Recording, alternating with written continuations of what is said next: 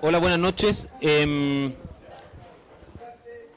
primero que nada les quiero pedir disculpas por el tema del atraso, pero la verdad es que hoy día tuvimos harta actividades, estaban momentos antes de nosotros, eh, jóvenes progresistas juntos a eh, el vicepresidente de Acción Social, eh, Pedro Abarca, y fue por eso que nos entraron en la sala un poco tarde y empezamos a organizar todo con 15 minutos de desfase. Em, por eso les pido las disculpas del caso. Em, les comento que vamos a generar, hoy día tenemos dos actividades que son paralelas, que es el tema de preparación para precandidatos en esta sala y preparación para alcaldes, que va a estar Marco a partir de las ocho y media en la sala que está al costado. Eh, es más chiquitita la sala esa porque son menos precandidatos a alcalde, obviamente. Los que quieran que sean alcalde y quieran quedarse hasta que comience la otra actividad, obviamente no hay ningún problema. Em, bueno, damos por inicio a la, cuarta, jornada de preparación. Les damos las gracias por estar acá y dejo con usted a Cristian Warner, que es vicepresidente, secretario general del partido. Cristian. Hola.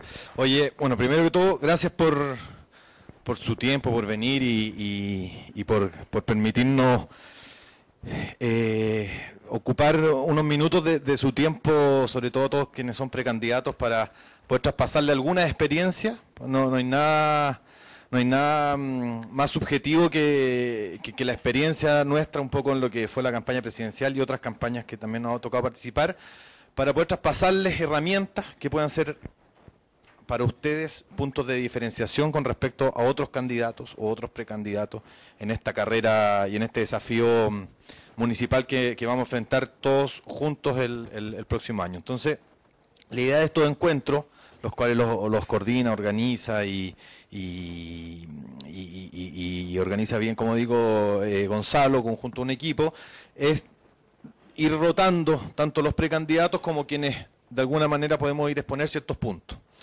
Hoy día a mí me pidió Gonzalo qué significan las redes sociales en una candidatura, sea del tamaño que sea, sea para el cargo que sea, en general en términos de la importancia, primero, de, las relaciones entre las redes sociales, internet principalmente, y la política. Hoy en día, que a mi juicio, al menos sobre todo en, en proyectos como el nuestro, como el del Partido Progresista, que tiene mucho de, de, entusiasmo, de voluntad, de voluntarismo y poco de las herramientas más tradicionales de, del marketing o los medios, son vitales, porque son finalmente los únicos espacios donde nos queda para poder difundir ¿no es cierto? el mensaje de una manera más democrática y en iguales condiciones al resto de nuestros competidores. Pero además, porque hoy en día eh, no es imaginable enfrentar una campaña presidencial, parlamentaria, comunal, local, sin el uso de las herramientas de las redes sociales.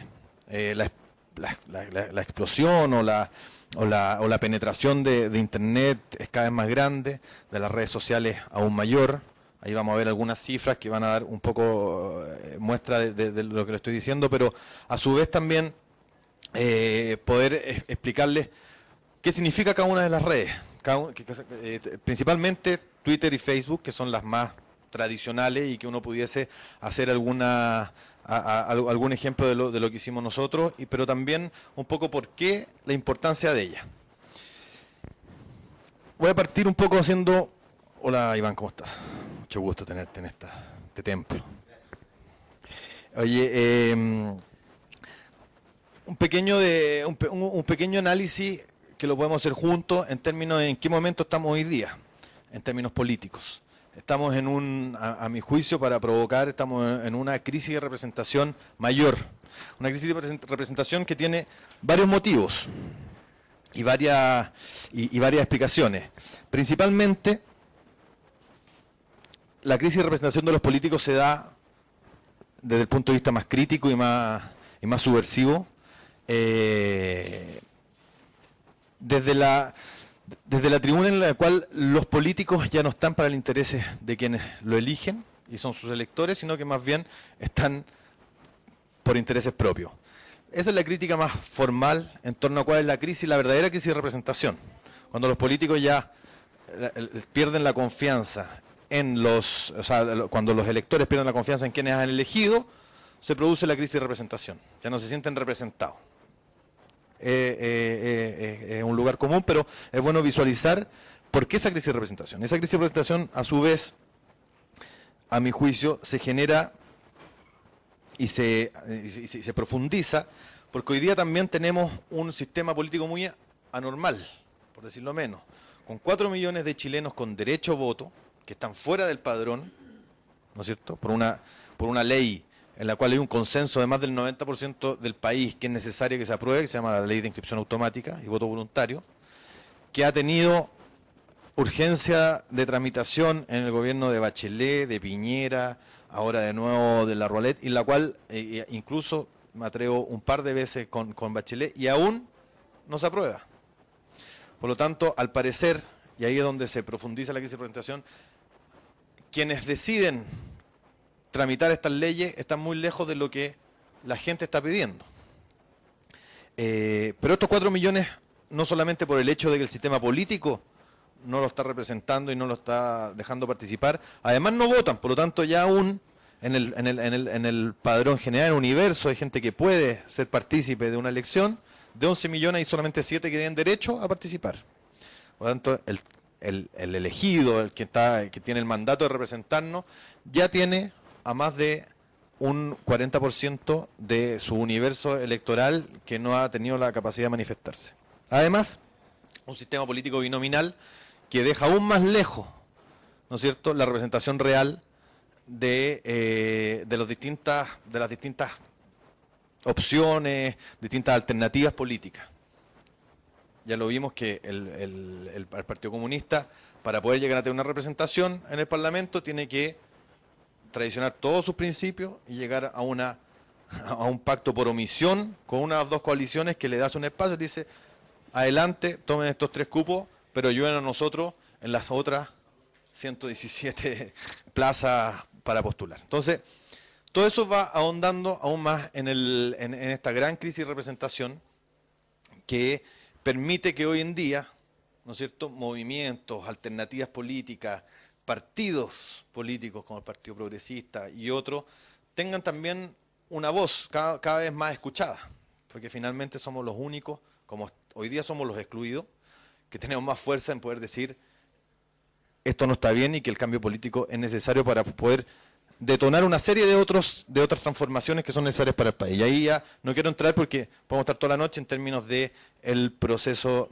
de, más igualdad o, de mayores derechos para los, para los consumidores, el tema estudiantil, el movimiento estudiantil que todos estamos viendo. Por lo tanto, me voy a quedar solamente en el tema político para poder explicar bien hacia dónde voy.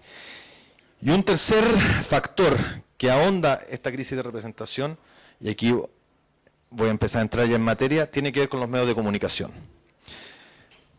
¿Por qué? Porque finalmente el medio de comunicación lo que hace es hacer al ser, al personaje, al, al, al, al, parlamentario, al político, a quien está representando, a ser percibido. Es quien lo muestra, ¿no es cierto?, en la, en la, en la esfera pública, quien, quien nos lo muestra en la televisión, en los medios, donde, donde fijan posición. Sin la televisión y los periódicos nosotros poco sabríamos de los más máximo 20 diputados que sabemos su nombre, de los otros 100 ni hablar porque no sabemos ni siquiera que existen.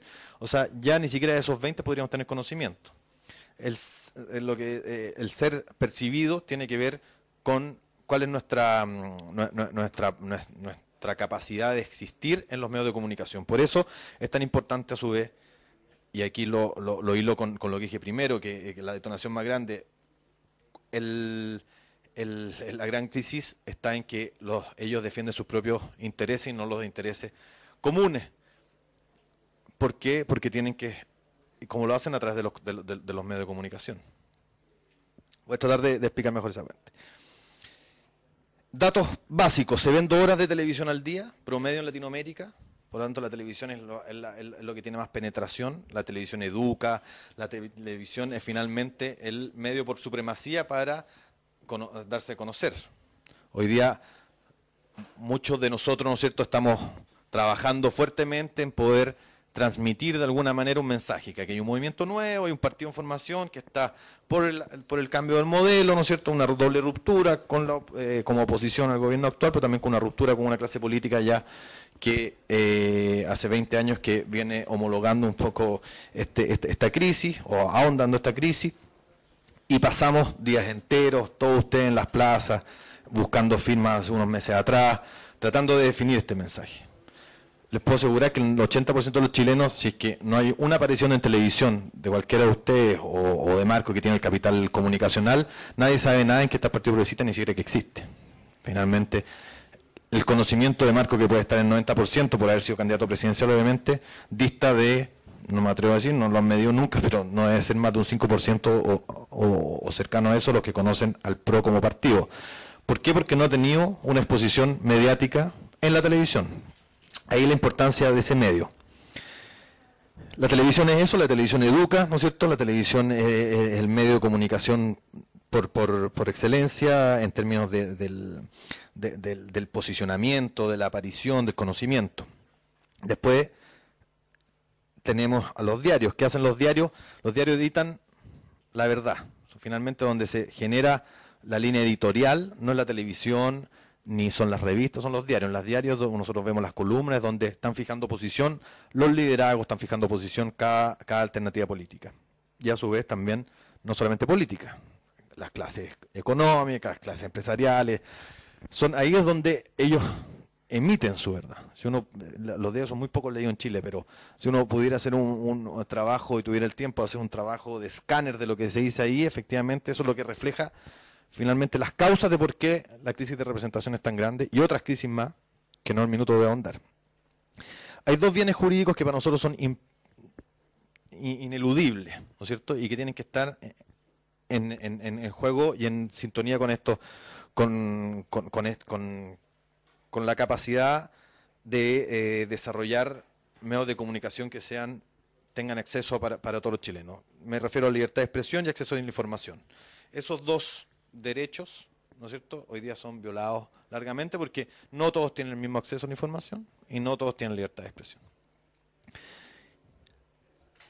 Voy llegando hacia donde, a donde quiero hacer foco. El Internet cumple otra función muy distinta a lo que lo hacen estos, estos medios que no mencioné antes. Internet es parecido, en cierta manera, a la televisión por cable. Es solo segmentación. Es decir, es el medio por el cual nosotros podemos llegar a cada uno de los hogares con un mensaje específico. Y ahí es donde las redes sociales tienen tanta importancia. Un poco haciendo una, relación con, la televisión de cable. La televisión de cable hoy día podemos ver cocina tailandesa, cocina china, cocina peruana, cómo cocinan las mujeres, cómo cocinan los hombres, idiomas, eh, el, canal del fútbol, MTV Brasil, MTV Panamá, MTV CNN Chile, CNN México, CNN, o sea, la segmentación es total en el cable. ¿Por qué? Porque lo permite, porque hay un, sistema distinto, por, por, pagar, obviamente, ¿no es cierto? Y aquí es donde el Internet tiene la posibilidad de reemplazar ese medio a través de la gratuidad es distinto. Todos tenemos acceso a Internet, o por lo menos es mucho más accesible que el cable, y tiene al menos la misma, la misma capacidad de poder lograr segmentar los públicos. Y eso tenemos que tratar de, entenderlo bien en términos de cuál es la importancia de la segmentación de los públicos. Cada uno aquí en sus comunas tiene distintas necesidades y distintos, y distintos proyectos con respecto a sus propias aspiraciones de poder o aspiración de los cargos a los cuales va a postular. Internet permite eso, permite hacer foco en que a través de Twitter, de Facebook, las páginas web, vamos a poder hablarle a los públicos que ustedes les necesitan hablar. La realidad de Conchalí es distinta a la realidad de, los Andes, la realidad de, mm, de, Santiago Centro es distinta a la realidad de San Felipe, de Viña del Mar. Y el único medio el cual nos permite entrar en esa segmentación, esa hipersegmentación, de forma igualitaria y más democrática es Internet. Em, antes de entrar un poco a los datos, eh, ¿te podéis poner la presentación? Ah. Lo tenía en blanco. Sí, pero cuando la, no, está puesta ya. Ahí está. Entonces, para empezar un poco en materia. Internet, ¿qué es? Es subjetividad completa. Es de donde hablamos desde nosotros mismos. Es decir, ahí ya no estamos hablando de otros, sobre todo en las redes sociales. En Facebook nosotros ponemos lo que yo voy a hacer, lo que yo opino. En Twitter también. En Twitter estoy, estoy llegando a la reunión con la gente del PRO, la cual vamos a estar hablando por teléfono durante media hora. Eh, voy, voy, voy saliendo a ver a mí, o sea, existe una subjetividad completa, es donde fijamos posición también, donde nos permite fijar posición, pero sobre todo es entender que nosotros no hablamos de otros desde ahí, hablamos de nosotros mismos, de lo que nos está pasando.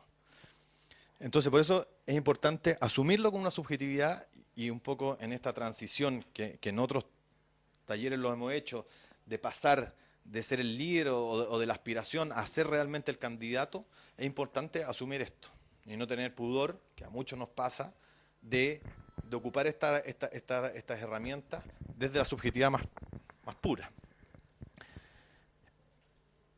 Internet también permite compartir contenidos.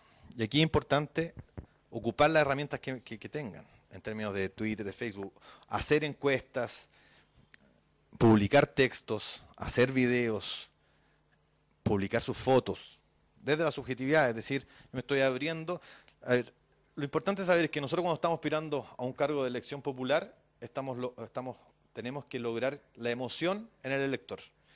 El elector al emocionarse nos va a dar su confianza de decir, yo confío en ustedes porque te conozco, porque creo que realmente, pese a esta crisis de representatividad, creo que tú me puedes representar correctamente. O desde, el punto de vista del desafío que tenemos nosotros, es muy importante lograr esa conexión con el lector.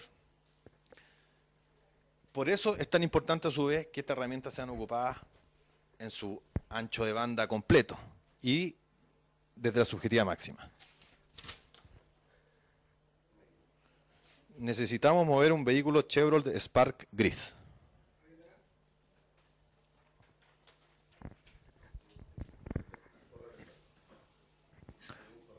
¿Me llegó un correo? Ah, ah claro, aquí. Oye, em, es preguntar, es narrar, es explicar, no justificar, es informar. Es decir, es la relación constante entre a quienes le estamos pidiendo la confianza y que queremos lograr emocionar y nosotros como candidatos. También Internet puede ser usado para contracampañas. Cuentas, o sea, a través de cuentas de otros nosotros podemos mostrar cuál es la debilidad del contrincante. Y ahí que no, hay que, no, hay, no, hay, que tener pudor tampoco en eso. Hay que saber utilizar las herramientas que van a usar contra nosotros. Aquí ya estoy entrando más en materia en términos de, tratarlos como candidatos. Van a usar artimañas, todas las posibles, para poder desbancar la opción que nosotros estamos ocupando en una elección súper reñida, que a este minuto pueden ser 5 o 6 listas, ¿no es cierto? En las, o pueden ser 60 candidatos en una comuna grande, los cuales van a estar compitiendo por 10 cupos. Por lo tanto, ahí es descarnada la pelea. Por lo tanto, hay que saber que existen las contracampañas contra nosotros, pero también hay que saber que existen las contracampañas que nosotros podemos hacer con ellos. Contracampaña, les voy a hacer un ejemplo después eh, que usó, que sucedió en la campaña de Obama, que tiene que ver también con, las, con, la, con la inmediatez de, de las herramientas. Ensayo de estrategia y contenido, no tiene costo alguno ensayar en Internet. O sea, nosotros publicamos un Twitter y nos pueden una lluvia de escupos y de insultos, pero como después vamos, eh, lo pongo al final, una ola reemplaza a otra ola, podemos poner otro más alegre y vamos a cambiar el foco de, la discusión. Y eso podemos estar, estar ensayando. Lo mismo, podemos poner una foto y la podemos sacar. Podemos, podemos probar, nosotros lo hacemos mucho en términos de, la imagen corporativa, poner a la disposición de la gente en, en las redes qué opinan, preguntar. ¿No es cierto? Lo que dice arriba. Preguntar qué, opinan sobre este diseño, les gusta no les gusta. Que haya feedback, que se sienta cercano. Que manejen ustedes esa herramienta para que la gente pueda tener una conexión más, una llegada más directa con el candidato. Eh, es diálogo, responder lo más posible. Hay técnicas, 20 Twitter al día, por lo menos de contestar, entre contestar 20 Twitter que te han llegado para tener relación y poder ir generando, acuérdense que Twitter tiene la particularidad que cada uno tiene sus propios seguidores. Si yo te contesto a ti, Pedro, tus seguidores van a ver ese Twitter. Por tanto, se pueden interesar en lo que yo te dije a ti, me van a buscar a mí, me puedo hacer de más seguidores. La idea es que, y como sigue abajo, la idea es que esto vaya creando bases de datos. Lo importante para nosotros es llegar a lo más posible, a la mayor cantidad de gente posible. Lo hablábamos la otra vez, algunos de ustedes, me acuerdo, Berta, esta vez que estabas tú, en un, en un taller que hicimos un día sábado eh, quedaban en ese tiempo 60 sábados y 60 domingos para, ¿te acuerdas? Para la, para la elección, o sea, son 120 días. Y no me acuerdo, eh, creo que era esto mismo, había que conseguir ver a 100.000 personas, estoy inventando. En 100 días son 1.000 personas diarias. Díganme ustedes, ¿cómo vamos a ver a 1.000 personas diarias darle la mano y decirle necesito tu voto para poder conseguir una, una votación? Es decir, estas herramientas son básicas que podemos llegar a la segmentación mayor para poder para, que conozcan el mensaje, para que podamos interactuar con ellos. Y hoy día ya, no, tengo aquí el dato, pero no debe faltar 60, sábado 60, debe faltar 40. O sea, esto avanza un tiempo impresionante. Entonces, por eso es tan importante la creación de base de datos, porque a su vez, a través de cómo vamos llegando a ello, existen otras mailing masivos, otras herramientas, ¿no es cierto?, para poder ir comunicando lo que queremos, porque no vamos a alcanzar a ver a cada una de esas personas cara a cara. Y una ola reemplaza a otra, ahora es lo que decían antes, es decir, nosotros podemos ir probando o cuando tenemos episodios los cuales son negativos en, términos de, la comunicación que estamos haciendo en las redes sociales, es importante saber que de ahí solamente se sale con, otro tema, buscar, buscar el reemplazo, ¿no es cierto? Es decir, por ejemplo ahora, pero eh, no sé, eh, si te meten en un tema delicado, por ejemplo, ¿qué opinan? Estoy a favor del aborto. Y te empiezan a dar con todo, tú no sales respondiendo, no, porque el aborto es bueno, cuando tienes una, una, artillería en contra, y sobre todo en las redes sociales se siente mucho. Pueden haber 10 tipos que están eh, dándote como caja en, la, en, la, en, el Twitter y tú sientes que aquí hay una capotera enorme. Y pueden ser los mismos 10 tipos, pero tú no le sales respondiéndole a ese, defendiendo tu, tu, posición, porque ahí no vas a ganar nada, ya estás, estás preso de, una discusión que está en, una burbuja. Entonces, ¿qué haces? Sales, sales con otra cosa. ¿Qué opinan ustedes? Una pregunta, cosa que active a otro usuario que nos pueda dar feedback. Lo mismo para el Facebook, cuando te, metes en, situaciones en las cuales tienes dificultad para, salir o, hay, o hay una ola negativa, lo único que reemplaza una ola es otra ola. Y hay que, y hay que ejercitar eso y por eso es tan importante que el, eh, diálogo sea, sea fluido y que, podamos estar ejercitando ese músculo en la medida de lo posible, en la medida de, no dejar de lado también lo más importante de las campañas, que es la, el puerta a puerta y qué sé yo. Déjame decir.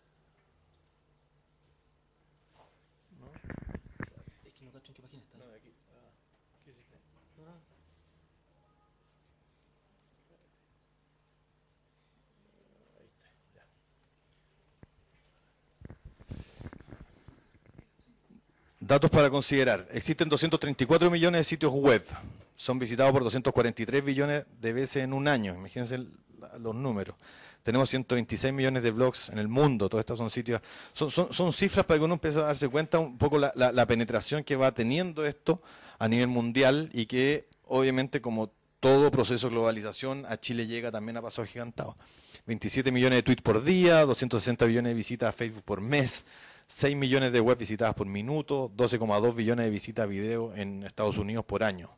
Billones, es decir, el, uso en,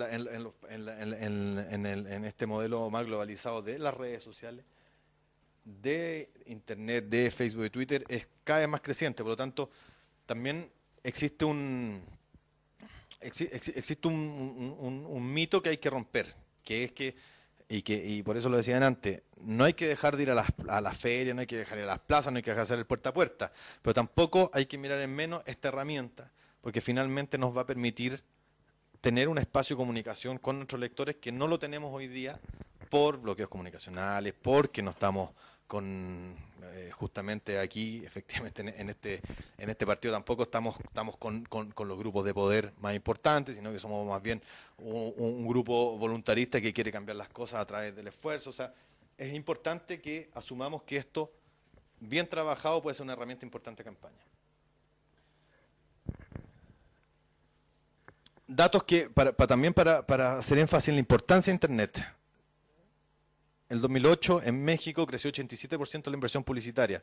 Hay un publicista eh, aquí en Chile que trabaja con nosotros que, siempre me dice lo mismo, mira, desde que la Coca-Cola hace uno o dos años, puede ser el dato erróneo, pero por lo menos hace un ejemplo, decidió que el 10% de su, de su inversión publicitaria en el mundo iba a parar a los soportes de Internet, es porque está girando hacia allá el tema. Es decir, porque ya las plataformas de Internet son lo suficientemente interesantes y, llegan a un, a un cierto universo, ¿no es cierto?, ya sea de consumidores o de lectores en este caso, que hace interesante el, y, y le hace necesario usarla. Eh, se estima 50 millones de internautas en 2012, donde la mayoría de edad, la, la mitad son mayores de 18 años. Acá algunos casos de éxito que además que aquí hace, hace mm, sentido revisar un poco, tampoco es cierto que si, usamos bien las redes sociales tenemos asegurada la elección. Eso también es otro mito, que también hay que, hay que olvidarse de eso. Es decir, puede ayudar, pero aunque seamos los mejores en redes sociales y no tenemos una buena estrategia, no tenemos un mensaje claro, no somos buenos candidatos, no tenemos a lo mejor los recursos que necesitamos para poder comunicar, tampoco vamos a ganar la elección. Importante hacer la diferencia. Ejemplo, Zapatero con Rajoy, ganó Zapatero esa elección. El, uso de la, de redes, el sitio web especial para la campaña, los dos lo tenían. la tecnología de la información para hacer campaña, sí lo usó Zapatero, no lo usó Rajoy. Innovación, el messenger político, que era un, mensaje de texto especiales. Innovación, multiplicar actividad offline, llamada celular, que eso tiene que ver con la, con la, con la integración de, de, las distintas redes, no solamente en Internet, sino también meterse ya en los SMS, que, que, es todo lo, que viene hoy día, meterse a este, el BlackBerry, que llegue el mensaje ahí, no solamente tiene que meterse a la computadora para estar en relación con, con las redes sociales. Asincronía entre offline y online. Ejemplo, no había mayor información en Internet después de un mitin político. Después de esto, si se meten a la página web del partido y no está mm, el streaming que está grabando Carlos, hay una sincronía tremenda y no estamos usando las redes sociales como corresponde. Lo mismo para las campañas. Ellos no lo usaron. Mensaje adaptado a cada canal, segmentación del mensaje, que, eso es inherente a lo que usa Internet. Pero si ven, casualidad o no, hay una mejor performance de lo que hizo Zapatero y ganó selección. Caso contrario, Berlusconi. Berlusconi no usó las TIC, nula innovación, solamente se, bueno, hoy día no es un buen ejemplo, pero, se, basó en su empatía y en, su, en su, mensaje y en, su estrategia, que era el, el omnipresente, el, ¿no es cierto? El, tipo que se lo podía todo, el exitoso en los negocios, que venía un poco lo que, lo que vendió Piñera en el 2009, y eso lo logró poner como jefe de gobierno contra un tipo que hizo prácticamente todo bien, pero que no tenía las características que tenía Berlusconi en su minuto. O sea, es decir, aquí están los dos, las dos alternativas. Sí, claro, además, efectivamente. Sí, claro. Efectivamente, pero de todas maneras, así todo podría haber tenido mucho mayor injerencia. O sea, no, no por eso hay que dejar de ocupar las redes, pero tenéis toda la razón. Eh, Obama, caso también yo creo que no, no, no, no, fue por las redes sociales por las que ganó Obama. Obama era el cambio, era el cambio a lo establecido, era el cambio al conservadurismo, ¿no es cierto?, de lo era negro, era el primer afroamericano, o sea, era el cambio completo. El tipo se paró una ola de cambio que era, era imposible, era, claro, en el papel, efectivamente. Pero además, la estrategia de Internet de Obama es ejemplo en todo el mundo, lo ocupan todas las consultoras del mundo, de decir, mira, esta es la clave del éxito. No es así tampoco, pero efectivamente ahí lo rescatable efectivamente de, la estrategia de Obama fue el tema de la base de datos. Y es importante darse el tiempo también. Ojo con eso, o sea, no solamente usar las redes sociales, estar en Twitter, tener Facebook, sino también darse el tiempo de que eso se transforme en una base de datos que ojalá no sea solamente online, o sea, no solamente sea el nombre y el mail, sino que tenga la dirección, el número de teléfono, que podamos llegar a las casas, pero con un mensaje identificado, mandarle una carta, señora Juanita, aquí le mando lo que nosotros queremos para la comuna, y eso se logra en parte a través de esto. Obama tenía millones de mail y que hizo una campaña de recaudación enorme. O sea, es un, es un ejemplo a seguir, pero como bien dijo alguien ahí, era plataforma Obama, esto se los podemos dejar después Gonzalo también arriba para que lo tengan, pero un poco la importancia más que detenernos en cómo, fue la plataforma digital de, Obama en esa campaña, que hay, que hay, un diseño. Es decir, hay un equipo que está constituido para, para compartir los temas de interés político, ¿no es cierto? Que, que, que, es importante también. Es decir, nosotros tenemos que que es parte de otra de, otro de otro momento en términos de, estas capacitaciones que queremos compartir con ustedes, pero dentro de los equipos de campaña que vamos a hacer, hay tiene que haber una estrategia relacionada con lo digital. No podemos descuidarlo. O sea, como, también es cierto que la subjetividad es total en, las redes sociales, y ahora necesita cada uno de ustedes que maneje su Facebook ustedes y su Twitter ustedes, que ustedes tuiteen, estoy aquí ya quedándome dormido con la exposición de Cristian, tienen que ser ustedes para que haya una conexión real con el internauta del frente, nosotros que está al otro lado de la línea, pero también es cierto que necesitan equipo detrás para poder avanzar en que esto sea utilizado de la mejor manera.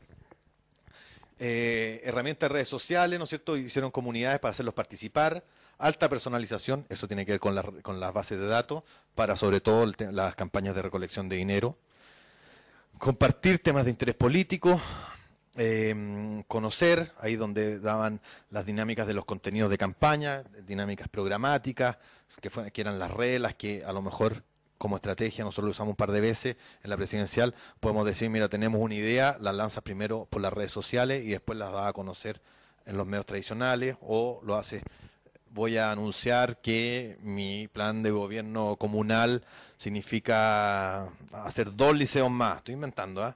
Eso lo pones tú en tu Twitter, llegando al meeting político, un debate televisivo donde lo vas a decir. O sea, la, capacidad de usar estas redes en, relación directa con la estrategia de campaña diaria es clave. Y preguntar, que también había, hay un, sistema en términos de que sea que se sienta partícipe. O sea, lo, clave de las redes sociales, y aquí con, humildad, pero lo digo, pero eh, eh, la, única manera de que realmente sea diferenciado a otras redes sociales es que quien está relacionándose contigo a través del Twitter o el Facebook sienta que es partícipe de algo. Que tú le preguntas, no solamente cómo, qué te parece la ficha y después mandaste a hacer el que quisiste, sino que además que, que, haya un proceso de participación real. Nosotros lo hicimos con el nombre del partido. El nombre del partido lo pusimos nosotros en votación. Dijimos, y nosotros, gran parte de nosotros éramos eh, teníamos otra, otra alternativa, el Copihue, pero no, no, no ganó el Partido Progresista, pero les digo, o sea, que se sienta realmente, la gente sienta partícipe y ahí podían votar, ahí no existía ni siquiera el partido todavía, o sea, podía votar el que quisiera. Eh, lo importante es eso, que, que, sea realmente una herramienta en la cual también por convicción nosotros hagamos participar a la gente, porque va a ser la manera más democrática de encontrarnos con la mayor cantidad de gente fuera de la, de la relación offline o, cara a cara.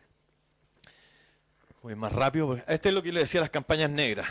Este es un, es un caso que, pasó en, en, en, la, campaña. Debate presidencial, lo resumo rápido. debate presidencial Obama-McCain. Eh, la discusión, la ley de energía. Punto débil para Obama porque votó a favor de la iniciativa de Bush Cheney mientras McCain votó en contra. Es decir, el tipo tenía hoy una yayita que lo podían hacer pebre televisivamente. Y, McCain comete un error y de repente dice en el, debate, se, refiere a Obama como aquel. Es decir, aquel que piensa no sé qué. dice ahí, pero Bill Burton, vocero Obama, que estaba en el público, pesca el Twitter y manda un mensaje. John McCain se refirió a Obama como aquel. Antes de terminar el debate, en el segmento donde McCain dice aquel ya estaba en YouTube y un mensaje fue enviado a todas las redes de Obama, base de datos viralizado completo. Al otro día toda la prensa nacional preguntaba a McCain al respecto y se limitó a decir que no había sustancia en la campaña de Obama, que se tenía que centrar en nimiedades. Ya para cuando McCain respondió el cuestionamiento, casi todo el pueblo norteamericano sabía al respecto. El video había sido visto más de 300.000 veces. La respuesta de McCain simplemente confirmó lo que toda la gente tenía en su cabeza, es racista y tenía mucho coraje porque iba perdiendo. O sea, el tipo, en vez de ocupar algo a su favor, porque tenía un, un, tema programático en el cual era más progre incluso que lo que, estaba proponiendo Obama, por haberse equivocado en una frase, con una, una buena utilización de las redes sociales en una campaña negativa, termina el tipo pidiendo disculpas.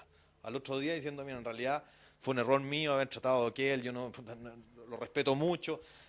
¿Me entiendes? esa la capacidad de ocupar las redes para poder generar o enfocar o, definir la agenda en términos de puntos especiales es una oportunidad tremenda. Ventaja de Internet, permite recrear y reinventar la relación entre los actores políticos y ciudadanos, es ágil, todo sucede en tiempo real, Eso es muy importante. O sea, si ustedes se fijan, se meten a Twitter y mientras está tratando de responder algo ya pasó otra cosa. Eh, un poco lo que pasó, ¿se acuerdan con el, toro frutilla? Que se cayó el hoyo.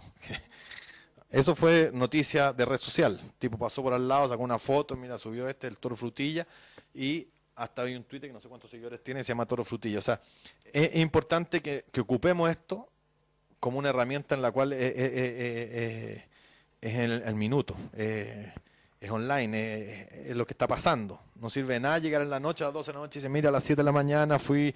También sirve, pero no tiene la, frescura de lo que puede significar una diferenciación grande si es que lo ocupamos como tiene que ser. reduce dramáticamente los costos de la relación entre político y ciudadano, nos pone horizontalmente. Es la única, el único medio finalmente que el, el elector puede referirse directamente, tutear o preguntarle, aunque no le conteste, al candidato están ahí en línea, son iguales, son dos tuiteros que se encuentran. Por lo tanto, es muy democrático. Y oportunidad de crear nuevos conocimientos a través de la incidencia colectiva.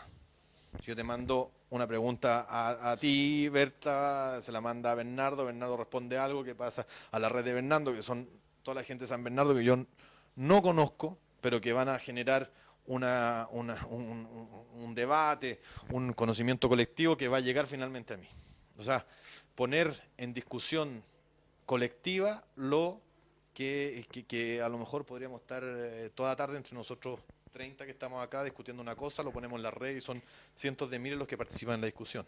Es decir, es una riqueza tremenda. Esta es una provocación, en fin, si los partidos políticos no entienden la nueva realidad se verán rebasados por las agrupaciones de ciudadanos. Los ciudadanos se preguntan, ¿para qué sirve un partido político más de llevar a políticos a ganar un buen sueldo? ¿Cuál es el valor social, el valor público, los partidos políticos? Esto es una provocación porque en el fondo, efectivamente hoy día lo estamos viendo en Chile, el movimiento social está llegando a un proceso de una curva más bien en baja, ¿no es cierto? A, pesar nuestro. Ojalá se hubiera logrado las variables para que, para que ese movimiento lograra cambios más profundos en el corto plazo, pero, pero efectivamente generan. Entonces, lo importante es que haya una sintonía entre lo que esos movimientos logran al estar, separados y divorciados de, los intereses creados y las sospechas que existen en los partidos políticos y la ciudadanía. Y las redes sociales ayudan mucho en eso, porque te ayuda a ser parte de un conocimiento colectivo, te ayuda a ser parte de poner en debate público y, en una horizontalidad que no existe en otros medios. Internet Caso Chile son, son, son datos que ayudan a, conocer un poco dónde hay que poner los énfasis.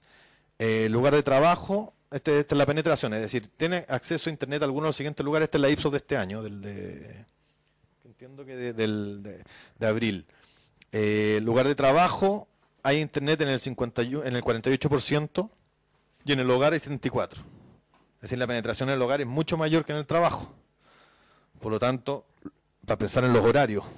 Entiendo la señorita Juana está por ahí, ¿o no? ¿Está tuiteando? No, no, no, pero después. No, pero la, María José sabe, la María José trabaja con nosotros en toda en todo el tema de la red social y la, María José sabe que a las si tuitea a las 3 de la tarde es muy probable que no la le conteste nadie. Hola, preciosa, ¿cómo estás? Una duda, ¿cuáles son los horarios más pic de, de las redes?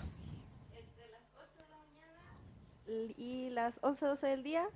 Luego a la hora de almuerzo podría ser una hora entre la gente sale con sus teléfonos, y luego de 9 de la noche a 12 de la noche 9. Ese es fuerte. un poco se relaciona con que la penetración es mayor en las casas. Tipo, llega de su casa del, trabajo y ahí donde... Entonces es importante tener, e, eso es importante, de repente nosotros podemos estar tres horas, de las 3 a las 6 de la tarde, en Twitter y en Facebook, le dijimos, le dediqué tres horas a las redes sociales. Pero como esto es tan dinámico, que el Twitter que tú pusiste a las 2 de la tarde, si no lo leyó la gente que estuvo ahí entre las 2 y las 2.05, no lo leyó nadie, porque en los timelines, si tú sigues a 200 seguidores, te pasan y te pasan y te pasan. Importante, ahí voy a ir a un punto que tiene que ver con la repetición, pero lo importante es saber también cómo enfocamos nuestro esfuerzo y definimos el énfasis que vamos a poner, no tan solo en los horarios, como decía ahora, sino que también en las herramientas. Fíjense usted, en si tiene, mm, está inscrito en alguna de las siguientes redes sociales, 55% en Facebook y un 12% en Twitter. la diferencia entre Facebook y Twitter es abismante. Uno diría, Pero mucho más entretenido el Twitter, sí, claro, pero el Facebook es mucho más importante. Hay, hay mucha más gente, podemos llegar a mucha más gente ahí. Entonces no hay que perderse. Son herramientas distintas también. ¿eh? Aquí quiero hacer un énfasis un poco en, en algo que se me quedó en el tintero antes. Tiene que ver con la repetición. Es clave que tanto como en la comunicación en general, la repetición genera ¿no es cierto? conocimiento, el conocimiento genera adhesión, en las redes sociales es lo mismo. Hay que repetir, hay que repetir y hay que repetir, porque la única manera es que nosotros lleguemos a más gente. Como decía, en el, en el proceso del Twitter, que es una especie de blog que va para abajo y que pasa en el timeline, si yo doy una afirmación o doy un dato o una, una o fijo posición a las 2 de la tarde, que hay una hora peak, ¿no es cierto? Me van a ver a lo mejor 50 personas, de los cuales me van a contestar 10. De eso, sus redes, vamos a llegar a un cierto. Pero si no tuteo más esa posición y no, y, y no insisto, el 90% del universo que podría haber llegado a eso no va a llegar. Por lo tanto, no hay pecado, al contrario, es necesario que nosotros esa misma afirmación la pongamos a las 9 de la mañana, la pongamos a las 2 de la tarde, la pongamos a las 9 de la noche, la pongamos a las 12 de la noche. Es la única manera de llegar a distintos públicos, porque vamos a tener repitiendo el mensaje. ¿Se acuerdan de Kramer cuando agarraba hueveo al presidente del partido? Que decía, eh, quiero competir, quiero competir, quiero competir, y la, y firma, y la firma, y la firma, lo mismo. Porque no era, no era una caricaturización, obviamente sí era de Kramer, pero era real. Nosotros estábamos en un discurso en el cual la repetición era completa. Era, el mensaje era, déjennos competir. Y así se escuchaba, quiero competir, quiero competir, quiero competir. Los no jóvenes, bueno, los tan jóvenes no tan jóvenes. De- después, posee un blog un 6%. Van en franca decadencia los blogs, pero también tienen su utilidad. Si nosotros tenemos un blog para fijar posición, una columna, muchas veces nos ayuda a generar networks, o sea, redes con redes. Nosotros publicamos en el blog, eso lo linkeamos en Facebook, lo de Facebook en Twitter, y vamos generando una red que puede ir llegando a cada vez más gente. Y además también te da una cierta estética, una editorial. Nosotros tenemos un blog en donde están todas nuestras columnas, es más fácil entrar ahí que estar buscando en todos tus Twitter donde pusiste el link de la cosa que dijiste. Por lo tanto, por eso le digo, no hay que mirar en menos ninguna herramienta. Son todas importantes, pero hay algunas que son más importantes que otras. Eso es, en, en general, eh, estoy en tiempo ya, ¿no? Sí, sí, vamos a hacer preguntas ahora. Pero un poco en general lo, que quería hacer. Esto da para mucho rato, ¿ah? porque podemos meternos en algún minuto en, en, en- un poco lo, que hemos hecho nosotros en, términos del, del Twitter de Marco. Este, no me mandó la, la clave para poderle enseñado. Aquí a lo mejor la tengo. La puedo poner por mientras que hacemos preguntas. Pero la idea era. eh, la idea era un poco eso. Mostrar un poco de qué se trata este mundo de las herramientas de las redes sociales en función de una campaña política. Es completamente necesario que nos pongamos en línea en eso. Tenemos que utilizar esas, redes sociales, son parte de nuestra herramienta y, y seguramente en muchos casos van a ser las herramientas que tengamos, porque vamos a tener en contra los medios, porque vamos a tener en contra el poder económico y porque al final en la diferenciación vamos a hacer nosotros, valga la redundancia, la diferencia en torno a qué campaña vamos a hacer. O sea, tenemos una sola oportunidad de hacer algo histórico y de poder posicionar bien este movimiento en torno a lo que viene en las municipales. En hacer algo diferente, en mostrar que realmente aquí hay un movimiento que tiene la oportunidad de ser una alternativa a lo que ya existe. Y eso no solamente se queda en las ideas o en las rupturas que podamos hacer, sino también en la manera de innovar. Y, y esto está a la mano para que podamos usarlo de la mejor manera posible. Así que muchas gracias y hacemos una ronda de preguntas antes que entre Camilo a, a, conversar. Yo no sé si pena. ¿Escuchan?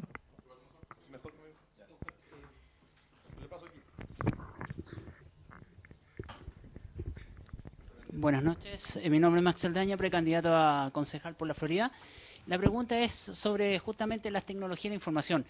Eh, hay un nuevo mundo en, el, en lo que es las redes sociales que es Google Más o Google Plus. Eh, ¿Cuál es el, digamos, el punto de vista que tiene el, el PRO sobre esta nueva herramienta? Que yo por lo menos yo tengo un perfil, digamos, de precandidato y he ido sumando más y más, digamos, conocidos, amigos, etcétera, etcétera.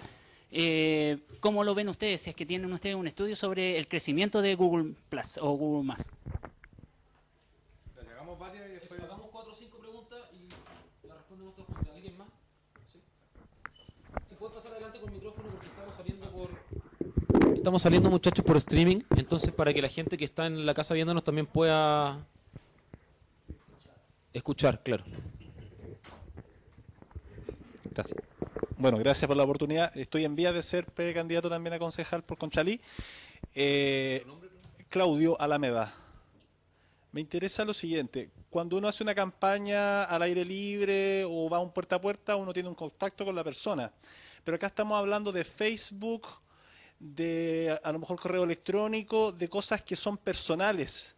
No sé si ustedes tienen alguna estrategia para yo sacarle ese Facebook a la persona, porque yo voy a hacer a lo mejor una cadena con mi amigo. A lo mejor yo tengo 2.000 amigos en Facebook, pero son amigos míos. Algunos son de Maipú, otros son de Renca, otros son hasta fuera de Chile, no son de Conchalí. No todos son de Conchalí. Entonces, no sé si han pensado en alguna estrategia de, cómo sacarle a, No sé si se me entiende la pregunta. ¿ah? Porque, ¿cómo, porque eh, mis amigos de Facebook son de cualquier lado, pero no necesariamente de Conchalí.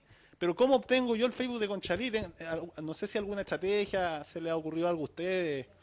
No sé, esa es mi, mi pregunta. Gracias. Gracias. ¿Alguien más quiere hacer alguna pregunta? ¿No? Ok, dale, vamos. Ah.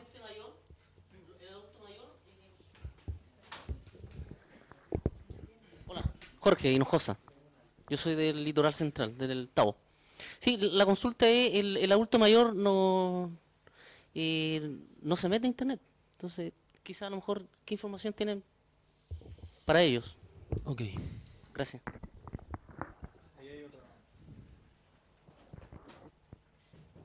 Hola, buenas tardes. Mi nombre es Jacqueline, eh, precandidata por Quinta Normal. Allá en Quinta Normal existe un campamento. Y es bien difícil que un campamento requiera lo que es Twitter, Facebook y eh, quizás un Internet. ¿Cómo ustedes también llegan a, esas personas?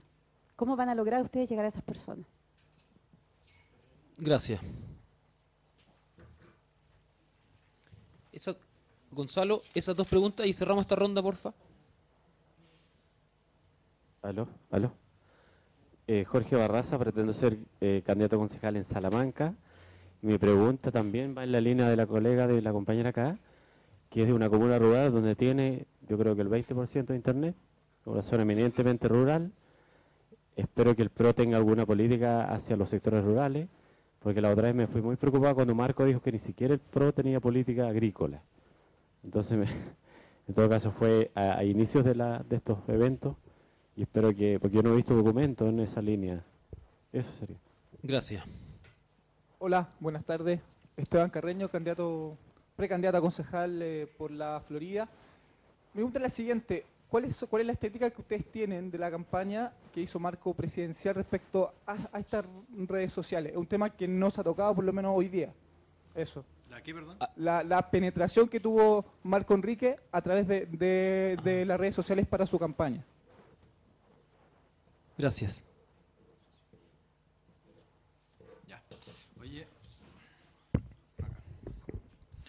Voy a tratar de contestar lo más rápido posible y, mm, y después quiero mostrar un poco el, el, Twitter de Marco porque puede ayudar un poco a la última pregunta. Pero, a ver, en, en términos concretos, todas las, todas las herramientas nuevas y la innovación eh, son, son parte de la diferenciación. Es decir, si hoy día es Google Buzz, mañana será Doodle para hacer eh, encuestas, el Twitter no sé qué, o sea, está lleno de herramientas, no, no, no, hay que restarse a nada, o sea, si tenemos la capacidad, yo me, me restrinjo a las dos que también en el fondo son las más conocidas, las de mayor penetración, las que son más, más, famosas, pero, pero si existe la capacidad, el tiempo, el talento, los equipos para poder estar en todas las redes sociales, ojalá estemos en todas.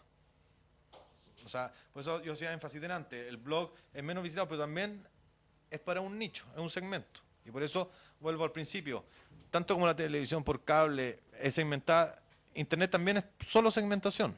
Entonces, si queremos llegar a, un cierto público, el cual está más, está más cerca de las nuevas tecnologías, será lo último en tecnología. ¿No es cierto? Si queremos llegar a, a, ciertos públicos que son más tradicionales, será a través de la página web o el mailing me quiero detener solamente en, eso, porque no conozco Google Boss, porque ya creo que ya ese ya es obsoleto, pues seguramente hoy día se creó uno nuevo, o sea, esto, la velocidad con que van las redes sociales, las, las- tecnologías de la información, nos sobrepasa a todos nosotros. Por lo tanto, ahí nomás el- un poco la, la- estrategia nuestra, en términos de concepto, de cómo avanzar. La calidad hace la, la, la cantidad hace la calidad. Vamos metiéndole nomás, porque al final es la única manera de, de poder romper el cerco que tenemos. Después, el tema de las bases de datos de Conchalí. eh, Claro, es muy difícil que tú pases por la feria diciendo inscríbame aquí el nombre de su perfil de Facebook. Ahí va a conocer- darle la mano a cuatro personas mientras tratan de escribirlo. Pero, mm, pero hay estrategias de viralización sobre todo. Nosotros lo, que hacemos, damos un segundo déjame contestar ya.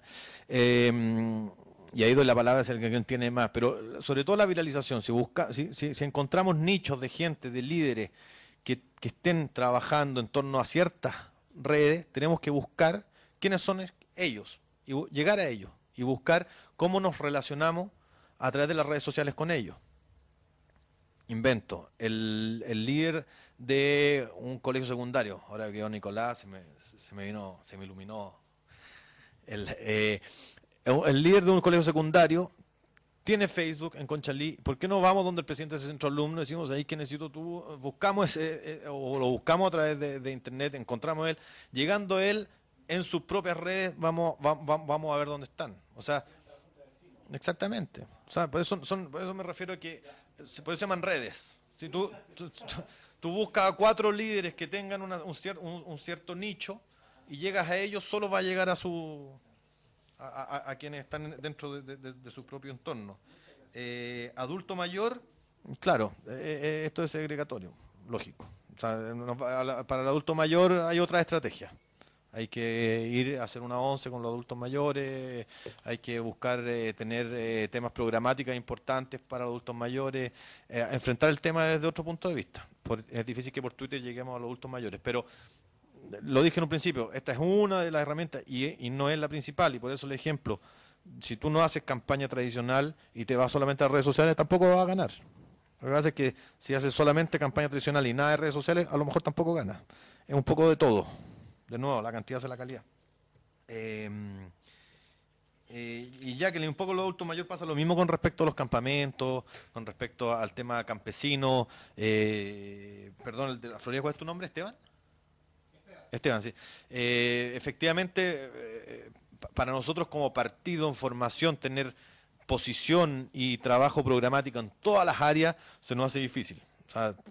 Tenemos un año y medio de, trabajo, la fundación hace un trabajo enorme en eso, hemos ido buscando eh, ciertos focos, ya viene Camilo ahora que, puede hacer un poco foco en eso, en términos de, de dónde nosotros hemos buscado nu- nu- nuestra identidad programática, reformas políticas, sistema financiero, ley de mm, la nueva política de drogas, un municipio progresista, o sea, está lleno de documentos los cuales enfrentan de alguna manera tangencialmente o, de fondo los temas, pero y un poco lo mismo, es segmentado, tenemos que buscar a, a los campamentos y a los adultos mayores tenemos que llegar por otra parte. Eh, al tema campesino, es la realidad, la realidad de la Florida, a lo mejor yo no sé qué tantos campesinos hayan en la Florida, pero sí, eh, perdón, no te veo, pero el, el- ah, perdón, le hiciste tú. Perfecto. Bueno, es que por eso, a eso eh, voy a contestar más en general, porque me perdí con, lo, con, la- intervención, disculpa, pero de eso se trata, de tratar de buscar a qué segmentos podemos llegar a través de las redes sociales y es un importante vehículo. No, en ningún minuto voy a discutir que a través de Twitter vamos a lograr, o sea, donde hay menor penetración va a tener que ser menor el tiempo que le dediquemos a las redes sociales, ¿no es cierto? Eh, en Salamanca, efectivamente, Pedro va a estar menos tiempo que el tipo que está siendo candidato en Santiago Centro, porque tu público tiene menos acceso a esto, pero no, no tienes que dejar de atenderlo. Eh, una sola, pa- pa- para terminar un poco, mostrarles, esto es Twitter, este es el Twitter de Marco que tiene, un poco para la última respuesta, de, de- de la, eso sí que era de Esteban, ¿no es cierto? El tema de la... el Twitter de Marco tiene 181.000 seguidores. Este es un Twitter que viene desde la campaña, que ha ido creciendo. Aquí lo importante es que siempre, en rigor, la, la tendencia sea el crecimiento. O sea, eh, eh, no, por tener 180.000 y nuestro competidor tiene 20.000, estamos seguros, sino que la tendencia es lo importante, lo mismo que las encuestas. Si la encuesta va subiendo, ya nos pasó a nosotros, teníamos un 2, después un 3, después un 4, esa tendencia es mucho más importante que estar estancado en el 25. Las distancias se acortan siempre. Eh, pero, pero principalmente tuvimos una penetración cercana a los 130.000 en Twitter y en, y en Facebook hemos llegado a unos 150.000. Que estamos retomando porque en Facebook tú sabes que las páginas no pueden... Este es el, mismo Twitter que cambiamos el nombre. Se llama Marco 2010, ahora se llama Marco por Chile. Por lo tanto, la base de datos la, apropiamos. Para el tema de Facebook es distinto. Tenemos que crear un nuevo Facebook. ¿Cuántos Facebook tenemos, María José? Eh, Tú sabes, Carlos, ¿no? ¿Cuántos son? ¿200? ¿Hay 200? Más o menos, más o menos. Hay 200 páginas de Facebook del PRO. PRO de la región. Que sigue Marco, él lo va viendo acá, ¿no es cierto? Después las menciones son las, las menciones, los tweets que mencionan el nombre de ustedes. Arroba candidato X, ¿no es cierto? Cuando lo mencionan en el texto, aparece en las menciones. Entonces, es importante porque aquí es la, es la comunicación directa. Aquí, efectivamente, aquí nosotros ya hemos, las- aquí un poco las crisis de crecimiento. Hemos crecido tanto en las redes del PRO, y ustedes se fijan, ya prácticamente la mayoría de los twitters que están en el time, que son, son del PRO.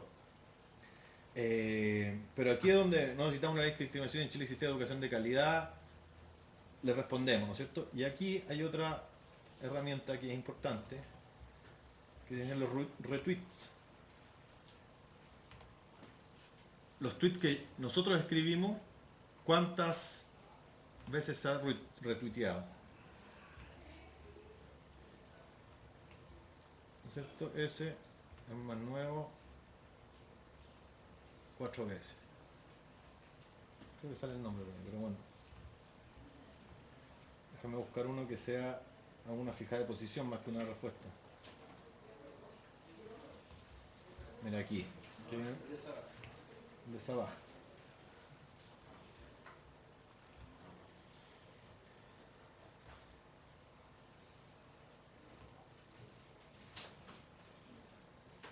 Todos estos fueron, estos son los retweets. No, aquí está. Retuiteado por y 12 personas más. ¿Esto qué, qué- qué- qué es lo que importa? Esto. Tiene que ver que con lo que nosotros pusimos, hay 13 personas que lo retuitearon. Cada una de esas personas tiene a lo mejor una red de 100 seguidores, 200 seguidores, 100.000 seguidores, 800.000 seguidores. Si nosotros logramos que una de estas 13 personas sea un líder de opinión, ejemplo, mismo Marco.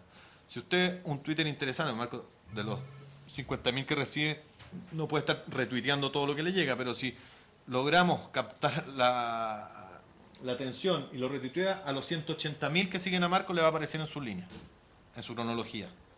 Por eso es tan importante que también no solamente seamos capaces de responder lo que otros nos retuitean, sino que a su vez podamos fijar opiniones y posiciones importantes que nos permitan ser retuiteados por líderes.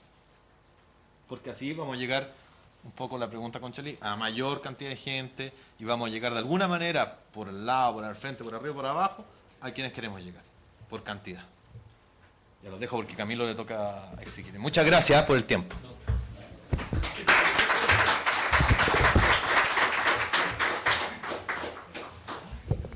Yo los tengo que dejar porque si no me van a matar. Les dejo un abrazo y muchas gracias por... Y nos vemos pronto, pues vamos a seguir haciendo este tipo de encuentros. Gracias, chao. ¿Me presta el.? Ah, Eh,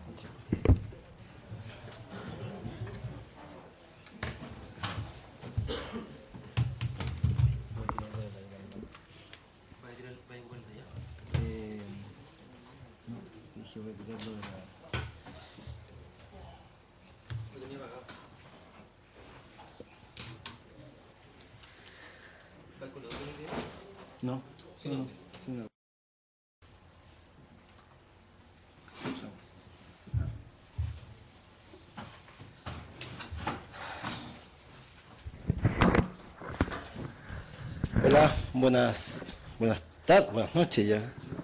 Eh, para los que no me conocen, soy, mi nombre es Camilo Lagos, soy uno de los vicepresidentes del partido.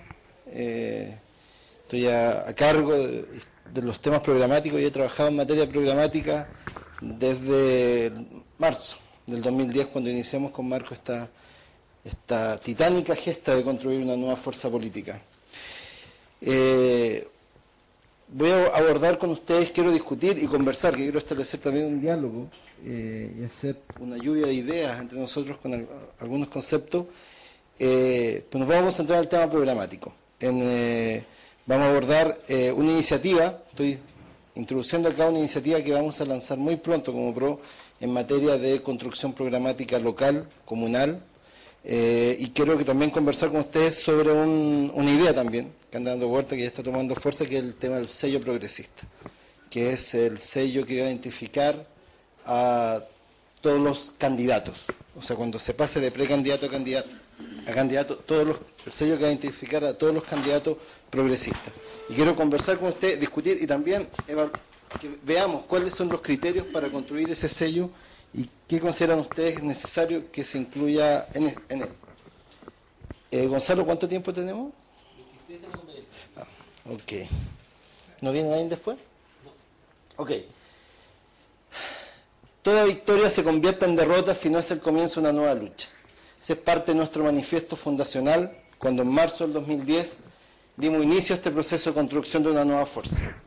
Eh, nosotros fuimos derrotados en, 2000 en 2009, salimos terceros de cuatro, pero sin duda, de alguna forma, la campaña de Marco generó una crisis en el duopolio político, abrió una, una, generó un quiebre en ese duopolio y permitió por primera vez en 20 años perfilar una alternativa a este duopolio que ha gobernado este país, co-gobernado este país con la dictadura y post-dictadura fundamentalmente. Eh, nosotros en marzo del 2010 iniciamos esta gesta eh, convencidos de que era posible construir una, fuerza, una nueva fuerza política. Aún en un país que detesta a los partidos políticos, aún en pleno en los primeros días post terremoto dijimos es posible construir una fuerza política porque este país requiere nuevos actores.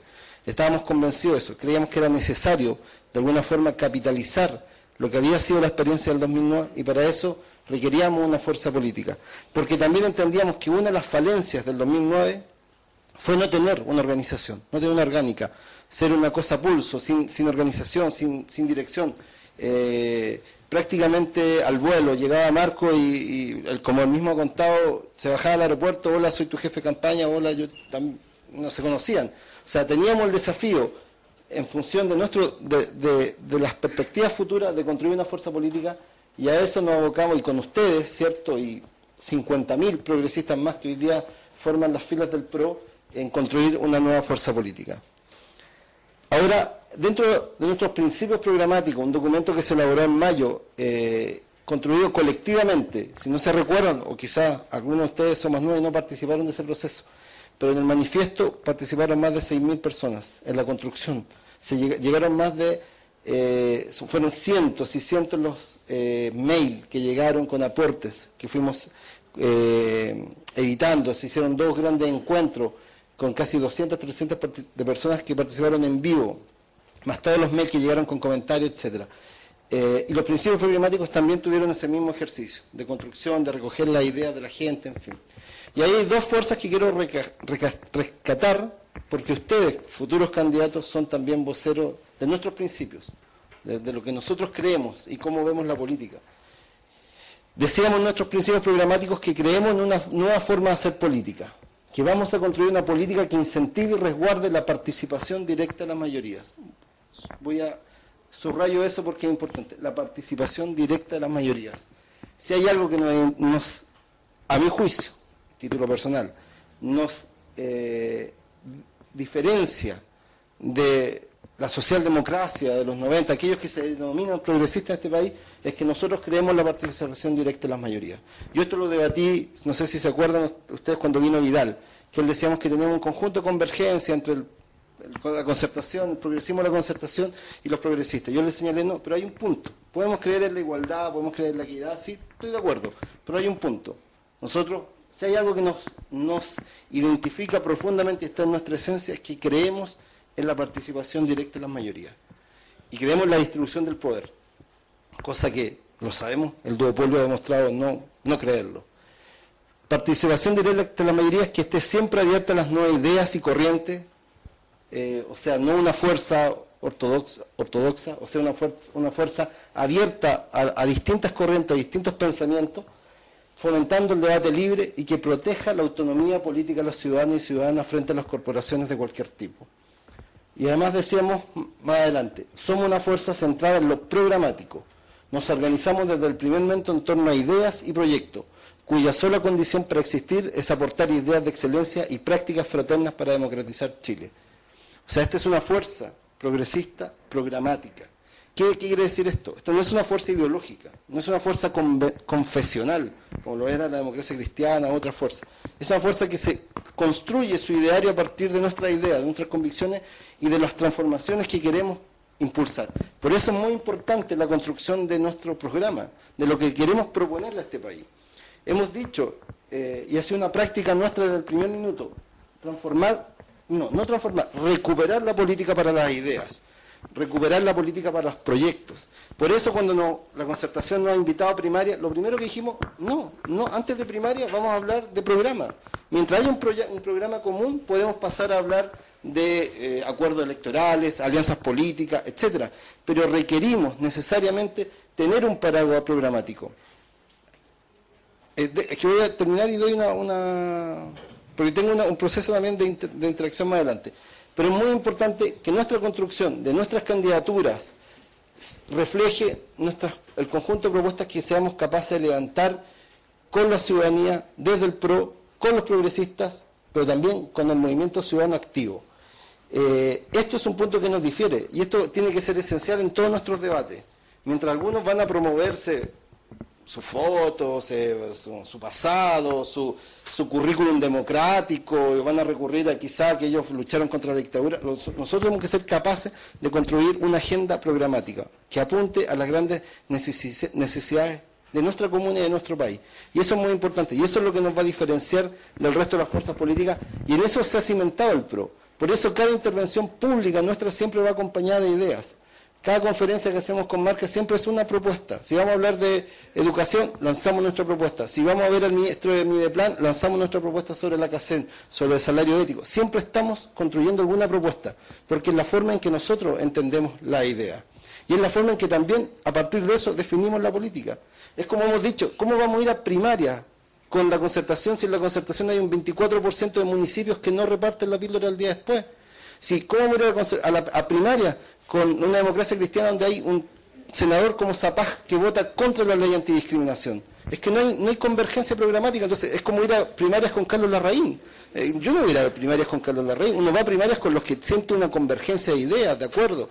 Entre nosotros tendremos que ir a primarias cuando haya más de un candidato alcalde, o más de, o más de siete u ocho candidatos, diez candidatos sea el caso en, en las comunas. Pero, pero es en base a un paraguas programático. Durante, durante marzo del 2010 y octubre del 2011, durante un año, hemos generado en esta idea, en esta lógica, más de 40 propuestas programáticas. Ha sido un trabajo arduo de distintas comisiones, personas, grupos, en fin, que han aportado en construir distintas opiniones del PRO frente a distintas temáticas.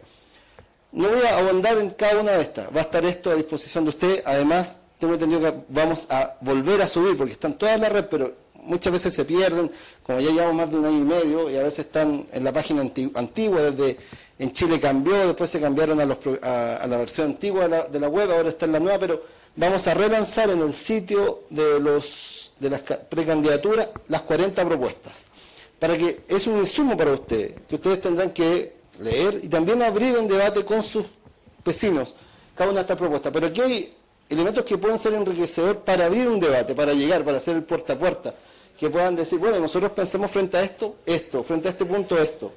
Hemos trabajado, a veces 40 propuestas se pierden en la noción del tiempo, yo les invito a que ustedes vean cuánto la concertación, con tres centros de estudio, con 40, 50 diputados, con no sé cuántos senadores, expresidentes, en fin, han elaborado durante el 2010. Los desafíos que vean. Yo creo, si no me equivoco, que dos. La de royalty el año pasado y la de educación ahora. Han sido las dos propuestas que como concertación han elaborado en un año y medio. Nosotros hemos sido capaces de generar 40. Claro, tenemos la libertad, bueno, no tenemos nada, teníamos esa urgencia. Pero también tiene que ver con nuestra convicción de que es por este camino como se construye una fuerza política. Voy a pasar muy rápido. Sobre DICOM, tasa max, todos son sobre el sistema financiero que le hemos dado muy, muy, muy, muy a hondo en ese tema venta de interés, acceso a crédito, bancarización. Todo esto lo que además nos da una enorme legitimidad para hablar de Presto, para hablar de la Polar. ¿Por qué nosotros eh, eh, fuimos los primeros en responder? Eh, cuando estaba el conflicto de la Polar el día jueves, nosotros el día sábado ya estábamos entregando un conjunto de propuestas a la superintendencia, precisamente porque teníamos todo este avance programático en, esa materia sobre Trambal, las 24 medidas para reformar el sistema financiero. Hay una web para que firmen, les recuerdo, los que no han firmado reforma, la reforma tributaria, la reforma a la CACEN. A propósito, acabamos de, interesante este punto para ustedes, concejales, futuros candidatos. Acabamos de entregarle a la BIN, o sea, acabamos el domingo con Marco hicimos una conferencia en La Moneda, donde, entre comillas, denunciamos el tema del bono Lavín. ¿Qué es el bono Lavín? Durante el noviembre, el gobierno va a entregar a las familias más pobres eh, un bono de 10 mil pesos por persona. Eso significa aproximadamente 40 mil pesos por familia si, si una familia de cuatro. Obviamente nadie puede cuestionar el bono, yo aplaudir, no nos vamos a poner contra un bono. Muy bien que se le dé los bonos a las familias pobres. Lo que pasa es que se da la siguiente paradoja. Desde octubre a diciembre, a, enero, se toma la encuesta CACEN. Con la encuesta CACEN es con la que se mide el nivel de pobreza de las familias más pobres. Entonces, en la encuesta CACEN hay un módulo de ingresos. Se le pregunta ingresos al trabajo, ingresos, otros ingresos y subsidios del Estado. Y la pregunta es, ¿cuánto, ustedes pueden ver el cuestionario de la CACEN, dice, ¿cuánto, qué monto del subsidio recibió el mes pasado? Entonces, obviamente, a las familias pobres, que se les encuesta durante noviembre, diciembre, enero, se le pregunte sobre los beneficios recibidos el mes anterior, ellos van a sumar el bono de 10 mil pesos o 40 mil pesos por familia, obvio, que es un bono, una vez. Eso nosotros hemos estimado en la Comisión Económica que va a afectar en términos de pobreza un por ciento. Es decir, el gobierno el día de mañana, si la encuesta sin ese bono daban un 14%, 15% de pobreza, como tenemos actualmente, ellos van a decir reducimos a 13% de pobreza. Hay, es, mejor, es mejor verlo en cifra eh, absoluta, 170.000 personas menos pobres. Entonces ellos van a salir diciendo hay 170.000 personas, hay 170.000 chilenos que dejaron la pobreza.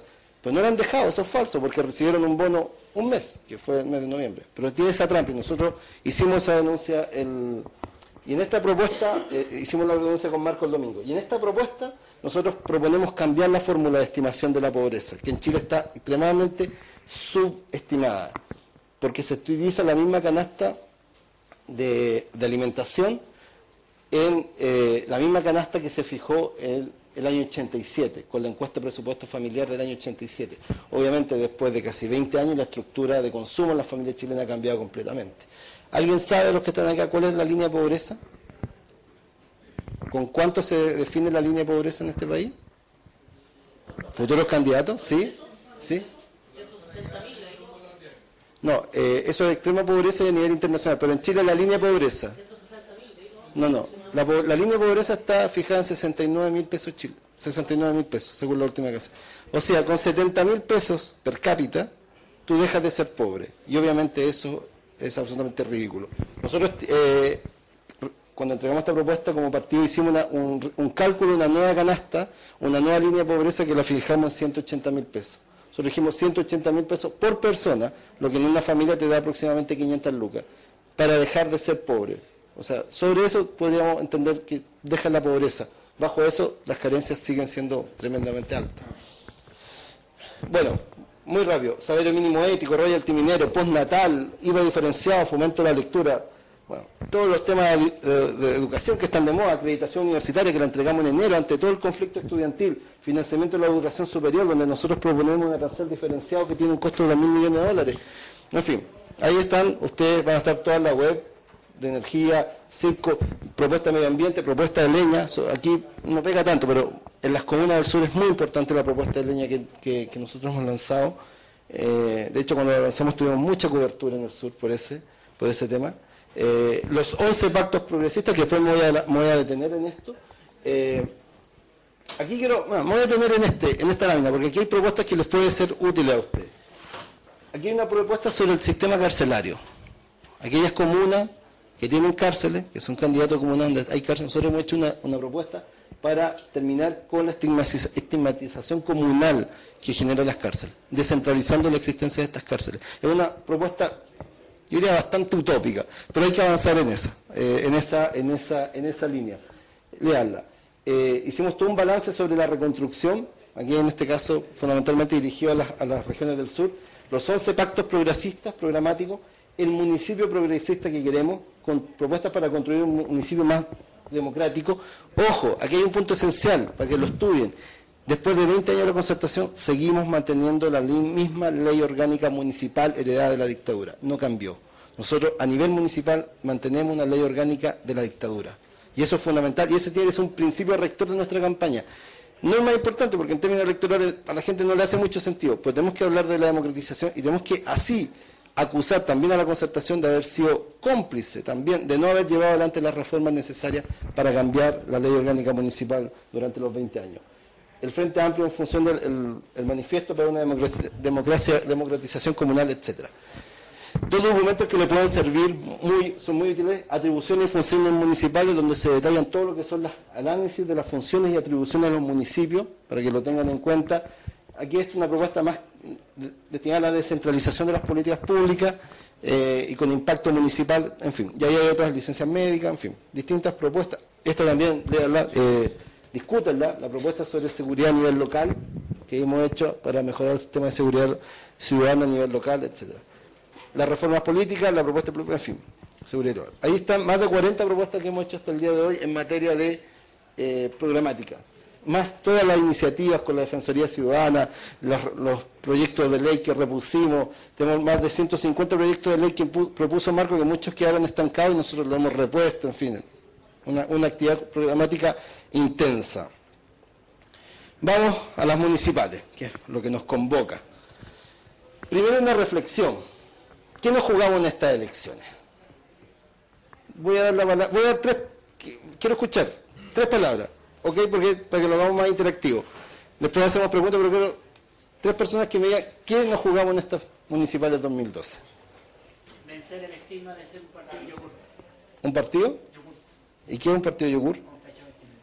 Un partido con fecha de vencimiento. Buen punto. Nos jugamos la posibilidad de corromper el estigma de ser un partido con fecha de vencimiento. ¿Alguien más? ¿Qué nos jugamos este 2012? La, insta- la instalación del Partido Progresista. Muy bien, la instalación del Partido Progresista. ¿Alguien más quiere opinar? ¿Qué considera que nos jugamos este 2012? La elección presidencial. La elección presidencial. Estas van a ser también nuestras primarias. O sea, yo creo que en todo coincidimos. O sea, va a validar, para nosotros estas elecciones son tremendamente importantes y para ustedes, por lo tanto, hay una responsabilidad enorme. Por eso, un año antes, estoy seguro que, a diferencia de cualquiera de las otras fuerzas políticas, estamos haciendo un trabajo de hormiga, ¿cierto? Con seminarios, talleres, todos los jueves, vamos en el cuarto, si no me equivoco, es semanal, además todos los diálogos ciudadanos, en fin, ustedes lo deben saber la cantidad de cosas que hacemos. ¿Por qué? Porque estamos trabajando desde ya porque para nosotros va a ser importante y hay una enorme responsabilidad de todos nosotros en el 2012. Pues no estamos jugando lo que tú dices, el validarnos como fuerza política. Y que no esto es una fuerza política que eh, de marco, es una fuerza de cientos, de miles de progresistas que quieren realmente romper el duopolio, que tienen una eh, que se perspectiva como una fuerza de poder, que no llegó aquí solo para ser una fuerza testimonial del 4, del 5%, del 7% como otras que conocemos. Llegamos para romper el duopolio político y para gobernar Chile. Y eso, esa imagen tenemos que ser capaces de transmitir. Pero también, y ojo, y es responsabilidad de todos nosotros, es que también nos va a ser la primaria de Marco. Si nos va mal, eso nos va a pegar fuerte para el 2013. Si nos va bien, nos va a dejar muy bien en función de 2013. La candidatura de Marco también, en parte, en parte de lo que hagamos el 2013, depende de lo que hagamos el 2012. Y los resultados del 2013 van a depender mucho del 2000 de los resultados que tengamos el 2012. Pero es una gran responsabilidad de todos nosotros, de todos ustedes candidatos, yo también seré candidato, de todos los progresistas que trabajaremos, ¿cierto?, para que tengamos un éxito electoral importante como primera fuerza política. Hay tres pilares en los cuales, con los cuales queremos enfrentar esto. Convergencia programática, construcción ciudadana del programa a nivel local y primarias vinculantes y abiertas a la ciudadanía. Son tres pilares los cuales queremos que descanse esta campaña municipal progresista. Voy a detenerme un poco en la convergencia programática. Para eso nosotros hemos elaborado- elaborado dos decálogos de un proyecto eh, progresista, dos decálogos generales que hablan de la generalidad del PRO, o sea, cómo el PRO, qué es lo que el PRO le está diciendo a este país en materia municipal y nacional. Son dos decálogos que pedimos que todo candidato progresista lo tiene que suscribir. Y de ahí quiero más adelante eh, entrar un poco en eso, el concepto del sello que hemos hablado. Un decálogo, ¿cierto?, que habla de lo nacional, del nuevo modelo de desarrollo que queremos para Chile, que es muy general y ustedes podrán abordarlo, que aborda la necesidad de un cambio económico, la democratización de este país, la, nece- la necesidad de una, gober- una gobernanza con transparencia, los derechos humanos, los derechos civiles, eh, avanzar hacia una educación pública, gratuita, de calidad, la salud, en fin. Los, los grandes ejes que definen y construyen, los 10 grandes pilares que construyen a este partido. Eso como visión nacional. Asimismo, nosotros el año pasado, en diciembre, construimos un decálogo de- del tipo de municipio progresista al cual eh, nosotros aspiramos. O más bien, los 11 pactos nosotros consideramos básicos de convergencia para hablar con cualquier otra fuerza política.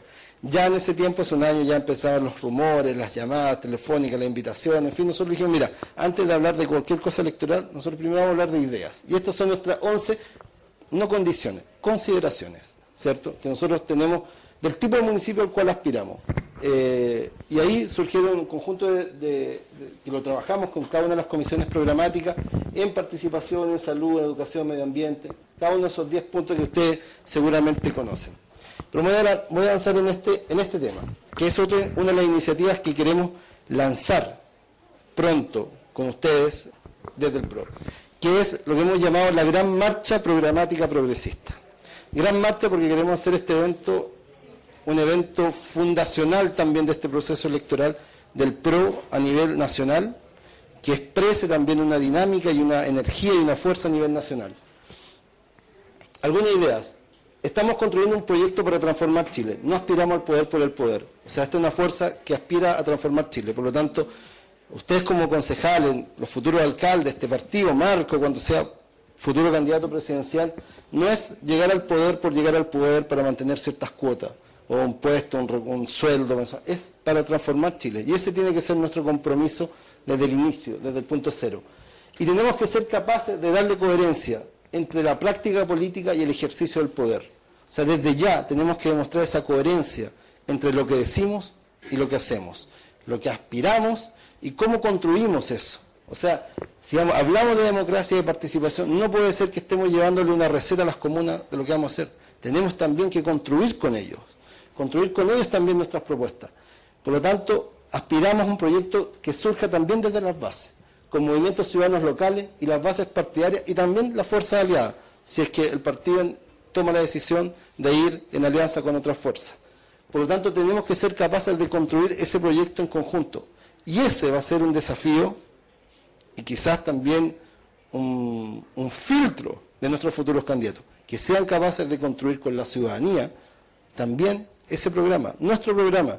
El programa de la, de- de Florida, de Salamanca, no va a ser el mismo al programa de Quique, de Arica, son programas distintos. El PRO puede dar grandes ideas nacionales, la, la transformación, la democratización, eh, eh, avanzar en seguridad ciudadana, en grandes elementos, líneas generales, pero cada comuna tiene su particularidad, su urgencia, y es muy importante que los actores de esas comunas sean también constructores de nuestro programa, seamos nosotros también voceros de ello. Por lo tanto, tenemos que generar una metodología, y en eso estamos trabajando para proponerles una, una metodología descentralizada y arraigada en la base social, que recoja en todo el país la demanda y propuesta de la ciudadanía cercana a este proyecto. Que seamos capaces de invitar en Salamanca a las distintas juntas de vecinos, a, lo- a- a- quizás Movimiento Ciudadano, al grupo de, de, sé, de deporte, al club deportivo, a los Boy Scouts, a construir con- en conjunto el proyecto, el programa para la comuna. Porque además esa, esa construcción nos da la oportunidad de activar desde ya la campaña. nos permite ya estar en la calle y construir, por sobre todo, y esto es lo más importante, confianzas, confianzas con la gente, paridad entre todos los que participamos en este proyecto. ¿Qué más importante para, una- para un ciudadano que sentirse constructor de un proyecto? De sentirse parte que está construyendo, o un vecino, eh, un- un- una junta de vecinos, sentirse que el proyecto, voy a dar al tiro un, sentirse que uno construye también con el resto nuestro programa. Y para nosotros eso tiene que ser un elemento, un elemento diferenciador. ¿Tú me querías hacer una pregunta? Sí, puede, puede sonar un poco conservador lo que voy a decir de la política de antaño que se viene haciendo, pero la voy a hacer igual. Dale, dale. ¿Qué es lo que se hace? Gracias. Gonzalo. Eh, siempre cuando se va a hacer una actividad política, ya sea de un alcalde electo, lo que sea, eh, se le dice, bueno, esto es una actividad con jóvenes eh, grafiteros que van a hacer un graffiti, y lo primero que pregunta el alcalde es, los jóvenes no votan, por lo tanto esa actividad no va a tener ninguna, a, no- a ningún asidero político. Ya, y ahora queremos hacer una actividad con los bailarines, que no, los jóvenes no están inscritos, por lo tanto hay que hacer solamente actividad con gente de adultos mayores. ¿Qué pasa con eso? Porque tú me dices, hay que participar, eh, pedirle la opinión, les vamos a pedir la opinión a todos, a todo el mundo, importa que voten o no voten, Eh, ¿tienen ustedes una idea de eso? Quizás eso genera una expansión dentro de la familia, no sé. ¿Qué? Damos una, una ronda de tres preguntas nuevamente y para que, porque después también vamos a hacer una ronda al final. Eh, acá y ahí, ahí, ahí y ahí. ahí Más dos. que pregunta, quisiera un poco potenciar lo que él dice. Eh, mira, si yo invito a un niño de 8 años, que sé que no es votante, y él, llega a su casa, le comenta a su papá, a su mamá, a su hermano mayor, con respecto del acto que se, se realizó, hicimos un círculo. Por lo tanto, nuestro sujeto o nuestra actividad no va dirigida exclusivamente al votante, porque si no nos transformamos en comerciantes. Quería hacer una consulta sobre el tema que mencionaste de poder hacer una municipalidad más democrática. Mira, tengo una duda y quiero saber cómo el PRO puede, digamos, solucionar este tema. Como dice el nombre, es Ley Orgánica Constitucional, que significa que tiene rango de constitución. Para poder modificar esta ley se necesita sobre los tres cuartos, digamos, de los congresistas en el voto. ¿Cómo el PRO puede incidir para que se pueda producir un cambio en la ley orgánica constitucional de municipalidades? Así es. Bueno, buenas preguntas. Yo creo, lo personal, que hay un principio fundamental del PRO, que es la democracia participativa, la transferencia del poder. Nosotros aspiramos a la inscripción automática, aspiramos que todos puedan votar. Hoy día nos, para- nos- nos posicionamos a favor del voto voluntario, por una cosa de que es muy difícil hoy día decirle a la gente, obligar a la gente a votar cuando hay tal descrédito en la política. Después podemos discutir si uno genera incentivos, como en Uruguay, para el voto obligatorio. En Uruguay, por ejemplo, el voto es voluntario, pero se hace obligatorio porque todas las prestaciones sociales se, reciben, educación gratuita, por ejemplo, si es que tú votaste. Tú tienes que ir con el, carnet electoral de la última votación para poder entrar a la universidad gratis. O sea, eh, es, volunta- es voluntario, pero el acceso a las prestaciones sociales está determinado por porque tú hayas votado. Eh, por- lo tanto, yo creo que tenemos que abrir la participación a todos, o sea, no, no orientarlo solo a un sector. Tenemos que ser capaces de recoger las demandas de una comuna y la, urgencia de una comuna, ¿ok? Y creo que eso es fundamental. Y esa urgencia a veces son de espacios públicos para que los niños jueguen, eh, para que los niños eh, hagan deporte, para que los adultos mayores tengan espacios de recreación, no sé, hasta propuestas mucho más, fíjense, mucho más osadas en materia de droga. Un lugar donde se junten los consumidores de droga, para que no estén en la plaza, que estén en una junta de vecinos, en un lugar abierto. Eso se practica en un país de Europa. En vez de estar en un espacio, van a un lugar. Eso hoy día está en filo de la ley, pero tenemos que abordar los problemas de la comuna. A eso voy. Entrar en los temas comunales, fundamentalmente comunales. No, eh, lo di como ejemplo de un tema comunal, que cada comuna va a tener su particularidad. Su particularidad. Eh, sobre los temas nacionales, yo creo que establecen nuestros principios como partido. Nosotros hoy día claramente no tenemos una fuerza que no está en el Parlamento, no, tenemos representatividad, pero tenemos una convicción y eso es lo que marca también nuestro ideario, nuestro compromiso con la ciudadanía y que el día de mañana yo espero que nos pasen la cuenta si es que logramos los espacios de poder. Por eso también es importante lo del sello progresista, porque es cómo después rendimos cuenta ante la ciudadanía de lo que nosotros decimos. Y si además nos da su confianza, tenemos que rendir cuenta ante eso. Pero el- el ideario de transformación comunal, de, transforma- de democratización comunal, es un principio del, del partido. Obviamente desde una concejalía, es muy difícil que uno, no- obviamente depende de una ley orgánica, pero es un principio del partido. Este es un partido Un tema puntual, que es lo que pasó que fue en la Florida. En la Florida en este minuto, hace 5 o 6 meses atrás, ocurrió el tema de que eh, el, el alcalde Sí. renunció y que obviamente se hizo la elección dentro de los concejales. Obviamente eso es antidemocrático. ¿ya? ¿Por qué? Porque no se le da al parecer al pueblo. quién Así es, absolutamente. Y eso pasa por una ley. Por supuesto, evidente. Evidentemente, absolutamente. Pero eso, a ver, pero eso demuestra, estoy totalmente de acuerdo, pero eso es lo que marca el principio esta fuerza. Y eso, por eso nos por eso, a eso voy cuando nosotros no podemos- nos vamos a primaria. ¿Cómo ir a primaria con un- una democracia cristiana que tiene a un Sabaj que vota contra la ley antidiscriminación? Este es un partido que en sus principios rectores de ser progresista es estar en contra de cualquier tipo de discriminación. Estar por la democracia participativa, eso está en un principio rector.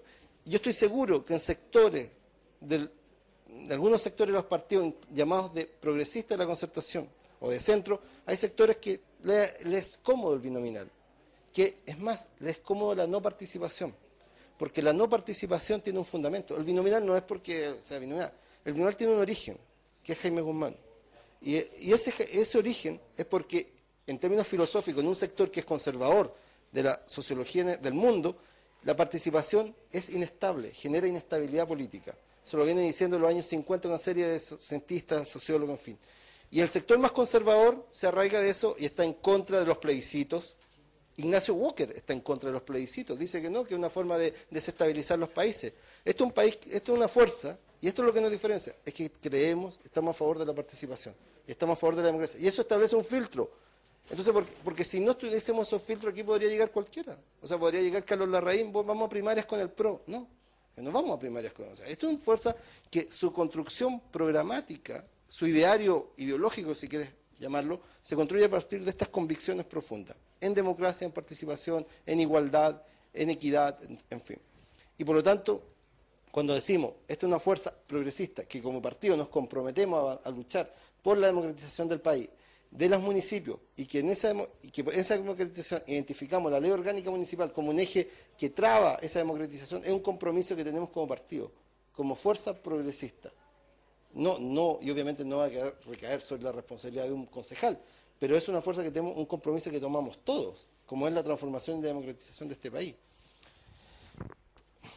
Facia. No, Facia no está invitada en este momento. Eh, por lo tanto, lo que nosotros queremos ahora iniciar desde el PRO con ustedes, con los candidatos a alcaldes, con todas las comunas, con los equipos comunales, es que em- en- generemos, empecemos un espacio de construcción de programas y de diálogo a nivel local. Así como hacemos diálogo ciudadano, en empecemos ese proceso ya a construir, porque además les permite a ustedes mostrarse, mostrarse como líderes locales, ¿cierto? De construir sus programas también con los vecinos y no estar en su casa elaborando su folleto que después van a ir a repartir, sino ser capaces de construir ese diálogo. Y sobre todo, si establecemos algún tipo de acuerdos con los partidos amigos, como los humanistas, como los ecologistas, que eh, construyen un gran bloque, también tenemos que ser capaces de construir un espacio de convergencia con ellos, de diálogo, de decir, bueno, ¿en qué estoy de acuerdo, en qué no estoy, cómo avanzamos en la comuna, qué crees tú, qué creo yo? Ese diálogo tenemos que nosotros, los progresistas, ser capaces de conducir. Y ustedes, como futuro- futuros candidatos, tendrán esa responsabilidad. Me queda una lámina para, eh, para abrir una discusión. En ese sentido, hemos pensado en esta idea del sello progresista, la idea de un, compromiso que sea identificable, identificable de todos los candidatos. O sea, del paso de precandidato a candidato esté establecido como, con, un, compromiso, que yo puedo decir, este yo, yo adquiero un conjunto de compromisos como candidato y por lo tanto tengo este sello, tengo este compromiso que adquiero con la comunidad, con el partido, en fin. El día de mañana, si un futuro candidato, como suele suceder en algunos partidos, se da, se da vuelta y no sé, nosotros tengamos la capacidad de decir, bueno, esta persona firmó estos compromisos y después él se dio vuelta, ¿no? Pero, tenemos que ser capaces de que cada uno de, los futuros candidatos adquiera ese compromiso.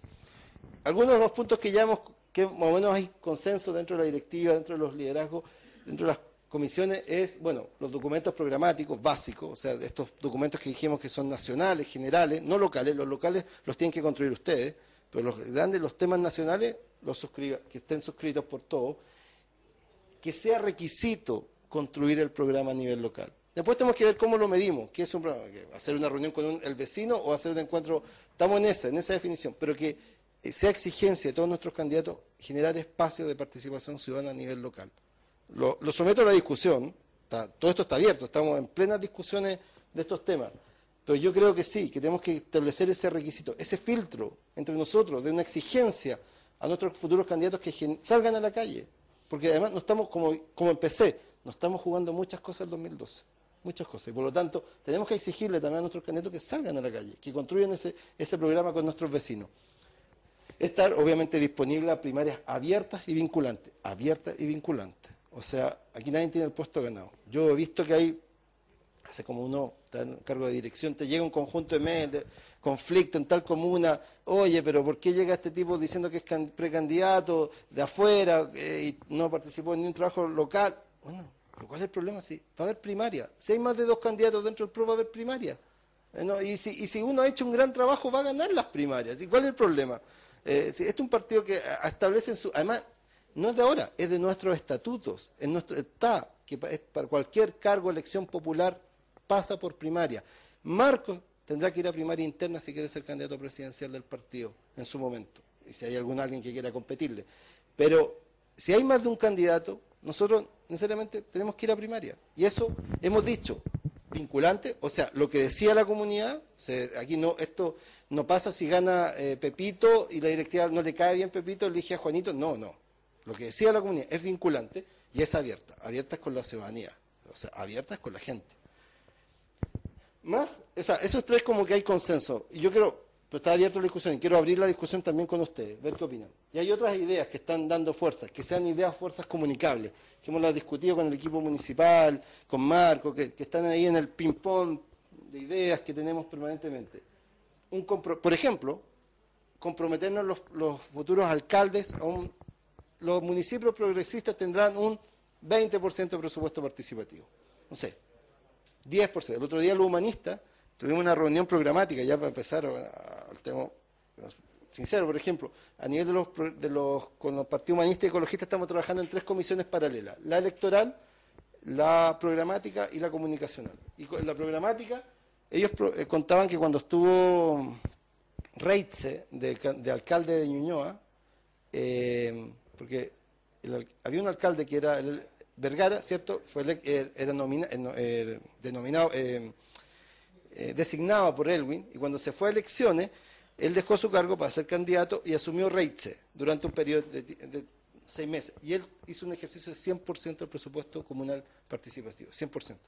Yo haría la discusión, pero como partido, y que lo debatamos con la comuna también en nuestros diálogos, si hay algún, no sé, un compromiso de los progresistas, sobre todo los alcaldes y también los concejales, tengamos un compromiso de un presupuesto, un- de- los progresistas no- nos comprometemos ante Chile, y esto después se cobra, a un 20 o un 30%, no sé, de presupuesto municipal eh, participativo. Hoy día me llegó, la, eh, Cristian la propuso, ¿no? Cristian me, me pareció excelente. ¿Quién- como alcalde progresista, esto va para la reunión del lado, pero también podríamos definirlo como concejal. ¿Cuál va a ser la primera acción de los progresistas una vez electo? La primera acción, el primer día electo. ¿Cuál es el compromiso? Hoy día Warner proponía que nuestro alcalde asuma el compromiso de que eh, se destinará, no sé, eh, nos vamos a enfocar en el, liceo fiscal público insigne de la comuna, fortalecerlo en recursos, pintarlo, transformar recursos, sacar recursos dirigidos a, eh, a tomar el, el el liceo público de excelen- de- más representativo de la comuna y eh, generar un proceso de, de cambio, de, en fin, de mejoramiento de infraestructura. Como un primer compromiso, yo digo, piensa en el primer día, yo asumo, ¿cuál es el primer compromiso ahí? Que sea verificable de un concejal progresista, de un alcalde progresista. Intachable en materia de defensa de, de derechos, o sea, alguien que mm, tiene antecedentes de violencia intrafamiliar, ¿debe ser eh, candidato progresista? ¿Alguien que ha, tiene antecedentes de abuso de menores? No sé, de algún de tipo de delito. Eh, Y también, ¿en ¿qué, ¿qué tipo de delito? Yo creo que alguien que atentó contra la seguridad del Estado en la época de la dictadura merece ser candidato, pero, pero alguien que abusó de un niño o golpeó a su mujer, no sé, debe ser, tenga antecedentes, lo vamos, va a ser nuestro filtro para el sello, y eso es un tema que tenemos que discutir con ustedes también, los futuros candidatos con el partido, ¿cierto? Y también con la ciudadanía. Si logramos abrir esto a la ciudadanía, es tremendamente enriquecedor para todos nosotros. Eh, voy a dar la, la- quiero dar la, una ronda de, preguntas y, y- y también comentarios, no solo preguntas. Habrá una discusión. Gracias, soy Dagoto Troncoso, precandidato de Conchalí. Eh, el tercer punto es un punto, es un punto que nosotros hemos estado discutiendo, eh, las primarias abiertas y vinculantes, ¿con quién? Somos un partido naciente, Conchalí somos muy poquitos, no hemos logrado crecer mucho. Eh,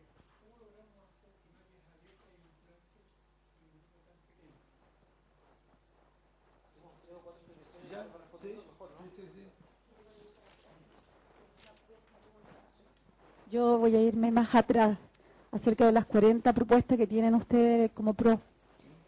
Estoy leyendo acá dentro de, lo que hay dentro de la, de la muralla, ¿cierto? Dice oportunidades, ¿cierto? Y dice progreso.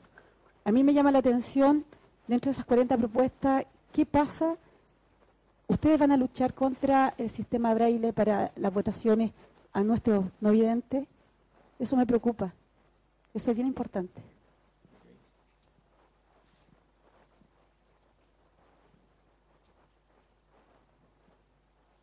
Eh, bueno, mi nombre es Esteban Carreño, eh, precandidato a concejal por la Florida. Y tengo va- varias preguntas. En, los decálogos del partido, al principio, dijiste que participación directa de- las mayorías y las minorías. ¿Ya? Eh, segundo, respecto a, a- a lo que están planteando ahora, me parece que si estamos iniciando una nueva fuerza política que quiere romper con, con este duopolio, debemos ser intachables. Intachables. O sea, si bien, si hay quien eh, desean respecto a, lo- a los eh, antecedentes, yo creo que debemos ser intachables porque estamos dan- dando una nueva imagen a la política en general, digamos. Eso. Cuatro dijimos, y aquí hay la última. Aló, Sí. A la- y descentralizar también. No, yo, mira, yo trabajo en una municipalidad hace como 12 años, he trabajado en dos municipios grandes. Y yo creo que aquí hay que tener cuidado en cuanto a lo que uno dice, porque es muy restrictiva la ley orgánica constitucional, lo que decía el colega ahí. Y un alcalde no puede destinar la plata que él quiera para proyectos participativos. O sea, lo van a acusar a la Contraloría. Entonces, nosotros tenemos que conocer muy bien desde ya cómo funciona un municipio. Y los concejales tenemos muy pocas atribuciones, o vamos a tener muy pocas. Eso no quita, obviamente, que a nivel de partido y qué sé yo, se, se propongan eh, reformas, qué sé yo, que, vayan en, en- el camino de, de hacer más. Quizás se puede dictar una ordenanza, pero es muy difícil. Hay como dos municipios en Chile que han y Apel, por ejemplo, tiene una experiencia muy interesante en términos de que a través de una, de una ordenanza, que cuando Luis Lemo era eh, alcalde, que hoy día es diputado, ellos destinaron una cantidad de plata, pero a través de una ordenanza, pero era muy poco. Entonces, tenemos que tener mucho cuidado en eso, que es muy conservadora la ley orgánica de municipalidad. Y bueno, voy a unir la cuarta con la primera, por lo siguiente. Está grabado, está transmitiéndose esto, voy a hablar mal de algún... No, no voy a hablar mal entonces. Está transmitiendo online. Eh, efectivamente, yo creo que es muy importante que lo que propongamos sea realizable. Si hay algo que eh, marcó durante mucho tiempo las fuerzas más progresistas o de izquierda, es que más allá de los discursos, ¿cierto? El ciudadano común, eh, en el fondo, veía en, en- en esas fuerzas eh, más discurso que acción. O sea, muchas veces, y está en el sentido común de muchos, eh, discursos irrealizables, ¿me? Eh, para nosotros es muy importante que lo que nosotros propongamos seamos capaces también de hacerlo. Demuestra nuestra seriedad y nuestra vocación de poder. Por eso, nosotros, Marco lo ha dicho, nosotros aspiramos a la educación gratuita. aspiramos en el largo plazo, creemos que hay que avanzar hacia allá. Pero obviamente hoy día, si hoy día asumimos, en 2012 asume Marco, presidente, 13, obviamente no va a haber educación gratuita del año. Nosotros podemos avanzar en un proceso. Requerimos reformas tributarias, legales, en fin, una serie de mecanismos, pero avanzar en esa línea. Por eso es muy, siempre muy cuidadoso ser en lo que decimos, ¿cierto? En lo que proponemos, a lo que hacemos. Yo creo que es fundamental, sobre todo porque nos da eh, esa credibilidad de ser una fuerza de poder. Así que nosotros vamos a manejar el municipio, vamos a conducir este país y vamos a llevar adelante, y tenemos la seguridad de ser, de ser capaces de eh, llevar adelante esas, esas, esas transformaciones que decimos. Lo, lo encuentro muy importante y para eso se requiere mucho estudiar, ahí la atribución, hay un documento sobre atribuciones, es fundamental eso conocer otras experiencias, conocer lo que está pasando, eh, meterse en la web, incluso la web, las web gubernamentales, ustedes ya deberían estar, hacerse expertos de sinim.cl, ¿cierto? donde están todas las estadísticas comunales de su comuna, en fin, el gasto. Aquí yo pregunto, ¿cuánto es el gasto en educación en tu? No sé, estoy seguro que todavía no te lo manejas, pero necesitamos convertirse en tipos que manejen eso, tipas y tipos que manejen eso. Y ahí lo voy a vincular con, lo que, con el tema de las primarias. Nosotros eh, tenemos un, desafío. Tenemos un desafío. Nosotros, aquí hay una dicotomía. O lo hacemos solo, creemos que somos capaces de hacer todos estos cambios solo, o necesitamos a sumar a muchos con nosotros. Sumar, no ser sumados, que es una frase de nosotros siempre hemos dicho. Sumar, no ser sumados, es distinto. Eh, y para avanzar en las transformaciones necesitamos sumar nos vamos a sumar a muchos amigos, fuerzas que nos dicen, ah, pero en la discusión programática del lunes la tuve con la directiva de, de unos partidos amigos. No, presupuesto 100%. ¿Viste? No, ya nos pasa que eso está, no es posible. No, no. Eh, nos vamos, pero tenemos que avanzar con ellos, porque hay idea, hay convergencia, somos primos, ¿cierto? Hay una, sintonía común, gana de transformar Chile. Y creemos que para ganar, para hacer las transformaciones, no lo vamos a hacer solos, las vamos a hacer con muchos más. Eh, pero nos encontramos ese desafío. Y ese desafío, ¿cómo vamos a zanjar eso? Va a tener que ser a través de ese ejercicio de primaria. No primarias internas, no primarias con cuatro personas, primarias con todos, todos los vecinos de Conchalí, para definir. Con- de, de logística, de logística, de, de capacidad de llevar adelante. Bueno, tendré, bueno, Seguro, estoy, de acuerdo, estoy de acuerdo. Pero por eso el proceso de primaria, ¿por qué los partidos, en general, la- o sea, el proceso de primaria gatilla muchas cosas? El proceso de primaria lo vamos a hacer, vamos a tener dos tipos de primaria, ojo, vamos a tener dos tipos de primaria, se me olvidó decirlo. Vamos a tener la primaria interna, si es que hay más de un candidato del PRO, y después la primaria con los amigos, si es que vamos en una lista en conjunto. Dos procesos de primaria. Eh, y eso, además, es muy bueno para nosotros porque nos va a permitir estar en la calle haciendo campaña dos veces, eh, desde ya, desde enero, estar, en campaña haciendo. Tenemos esos desafíos, desafíos de cómo llevarlo, cómo hacerlo, cómo hacerlo más participativo. Ustedes saben, tenemos 15.000 militantes en esta región y no votaron los 15.000 en la última Eh, entonces tenemos eso, eso, tenemos un problema de participación, obviamente, nacional, pero tenemos que luchar contra eso y además, sobre todo, generar los mecanismos. Que el día de mañana nos diga, ustedes decidieron eh, entre cuatro paredes. No, nosotros no decidimos entre cuatro paredes, nosotros los sometimos a la elección. Sí, no logramos convocar quizás a todos los que hubiésemos querido convocar, pero tenemos que hacer el esfuerzo de, de- porque es parte de nuestra práctica política, de una práctica cotidiana, constante. Sobre los temas programáticos, totalmente de acuerdo. Eh, el tema de la, obviamente, la no discriminación, ya de cualquier tipo, sobre todo también con eh, eh, también con aquellos que tienen dificultades, ¿cierto? De física, en fin. Totalmente de acuerdo que tiene que estar entre nuestros compromisos, absolutamente, absolutamente. Obviamente insuficiente. Es insuficiente porque esos 40, eh, un grupo humano limitado que partió de cero, eh, construyendo equipo y se le hicieron a Cristian en delante por el tema agrícola. Nos faltan, tenemos 40 y nos faltan mil más propuestas. Porque además que uno va escarbando y, qué opinan sobre esto, esto, ah, todos los días, todos los días, ¿y qué opinamos sobre esto? ¿Y qué vamos a decir sobre Todos los días tenemos urgencias de poner, marcar posición y tener propuestas. Pero tenemos que ir construyéndola entre todos. Y yo estoy, recojo el punto. O sea, si no la tenemos, como decimos en el PRO, el que la dice, la hace. Eh, bueno, se hace la propuesta y se incluye y tendrá que estar dentro de nuestro decálogo y nuestro pacto número 12 será eh, que nos comprometemos, ¿cierto? Y exigimos que eh, tener, no sé, que lo- los sectores más...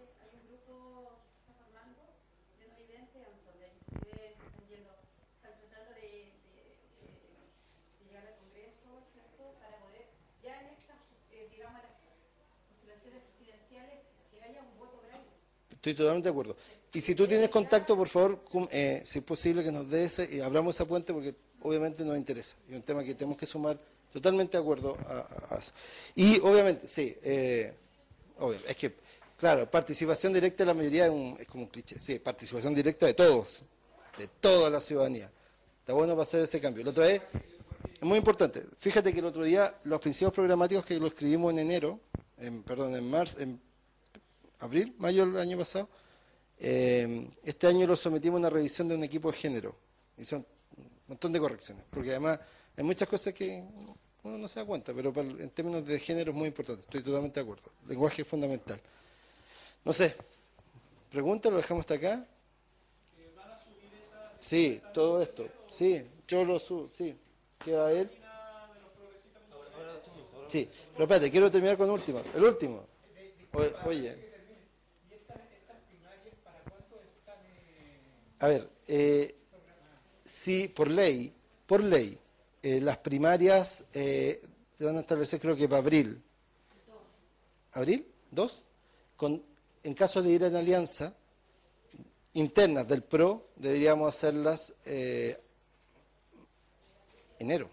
O sea, ahí estamos. Los tiempos nos persiguen, si ese es el problema. Sobre todo por la ley antidíscolo, los tiempos nos están persiguiendo porque si en abril tenemos que ir a primarias con otras fuerzas, nuestras primarias internas o las hacemos en marzo o las hacemos en enero.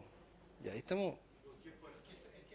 Es que esa, esa es parte, bueno, la toda, a ver, primero, en términos de estatuto el PRO establece que el Consejo Federal sanciona todas nuestras alianzas. Nuestro acercamiento y conversaciones hoy en día eh, más eh, fraternos son con el Partido Humani- Humanista y Partido Ecologista, con los cuales eh, venimos trabajando desde la campaña presidencial del 2009. Y hay todo un, hay un tema con ellos, ¿cierto? Y, hay que empezar a generar los espacios de diálogo, porque seguramente en todas sus comunas hay humanistas y ecologistas que ni siquiera quizás se conocen entre ustedes, y es bueno empezar a generar los espacios. Por ejemplo, la discusión programática, invitarlos a ellos a participar también de construir un discurso programático común que además nos permite construir confianza, conocerlo, gente con la cual... No, nosotros lo que hemos dicho, te doy el tiro, porque me viste la palabra, lo, lo sé. Eh, nosotros hemos dicho, nosotros estamos dispuestos a todos los diálogos políticos con todas las fuerzas de oposición. Pero antes de hablar de primarias, antes de hablar de, vamos a hablar de programas. Durante un año, de 18 meses, le hemos dicho a los partidos de la concertación, discutamos de ideas. Ellos se han negado. Se negaron porque nosotros nos invitaron muchas veces a hablar con ellos como bloque. Nosotros dijimos no, nosotros no vamos a hablar con la concertación, vamos a hablar con el PS, con el PPD, con la democracia cristiana. Estamos dispuestos a hablar con cada uno de ustedes, pero en términos individuales, respeto mutuo, de tú a tú. No con un bloque que además nosotros no reconocemos como tal, como bloque político. Estamos sí dispuestos a hablar con cada uno de ustedes. Ellos se negaron, fundamentalmente el PS y la DC, que hicieron un veto dentro de la concertación a cualquier diálogo con nosotros. Después de un año y tanto, después de un conjunto de propuestas que hemos enviado, hoy día le reenvié yo personalmente un mail a la Carolina dice- recordándole que el 4 de diciembre del año pasado, hace 11 meses, le envié la primera propuesta programática que aún ni siquiera acusó recibo. Yo le dije, la mayor mail diciendo hoy día, ¿de qué incongruencia? Porque ella el- el- la semana pasada salió diciendo que era incongruente que nos negáramos primaria. ¿De qué incongruencia hablas, Carolina? Decía, cuando hace 11 meses y te reenvió el mail, te envié este mail con propuestas programáticas que nunca respondiste. Hemos invitado a todos a, ya voy cerrando, a, diálogos. Y lo que hemos dicho, diálogos programáticos. Y hemos hablado con todos. Hemos hablado con los concertación, dialogamos con Partido de Información, Igualdad, un partido que hoy día está en formación, ya se inscribió en las tres primeras regiones del país, está inscribiéndose en la, en la quinta, creo, en Metropolitana también, eh, con el Maíz, nos juntamos también con el Partido Comunista, pero siempre en un diálogo de abrir en qué están ellos, no en primaria, ni, ni acuerdo, sino en propuestas, en qué, en qué coincidimos, en qué, cuáles son los acuerdos programáticos, en fin. Eso, ya, la última pregunta, porque me la pidió hace rato, sí.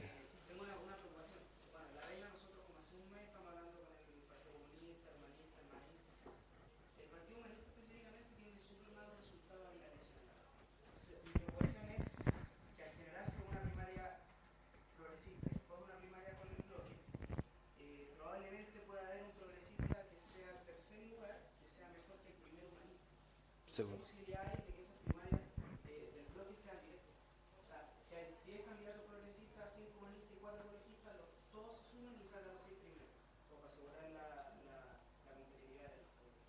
Buen punto, buen punto. Estoy, eh, parte de lo que estamos hoy día conversando con ellos.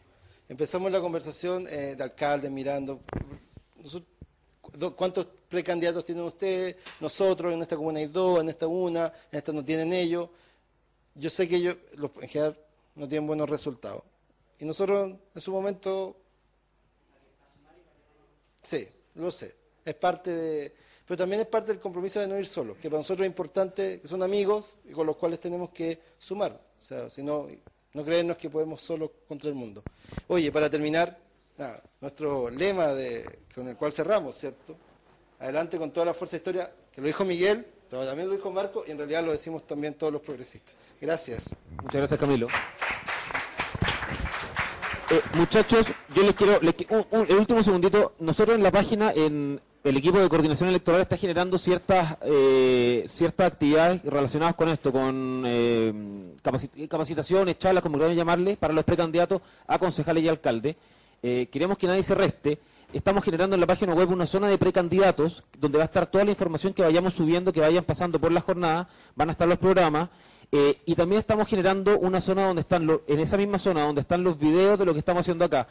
Después de eso estamos generando durante este mes un, botón, vamos a ponerlo en la página, donde es busca tu precandidato y por eso la insistencia que se metan todos a través de la página web y se inscriban, porque les vamos a pedir después la foto, de manera que algún vecino, la ciudadanía quiera decir cuáles son los precandidatos del PRO, cliquen y puedan ver la foto eh, en la comuna y en la región que corresponda.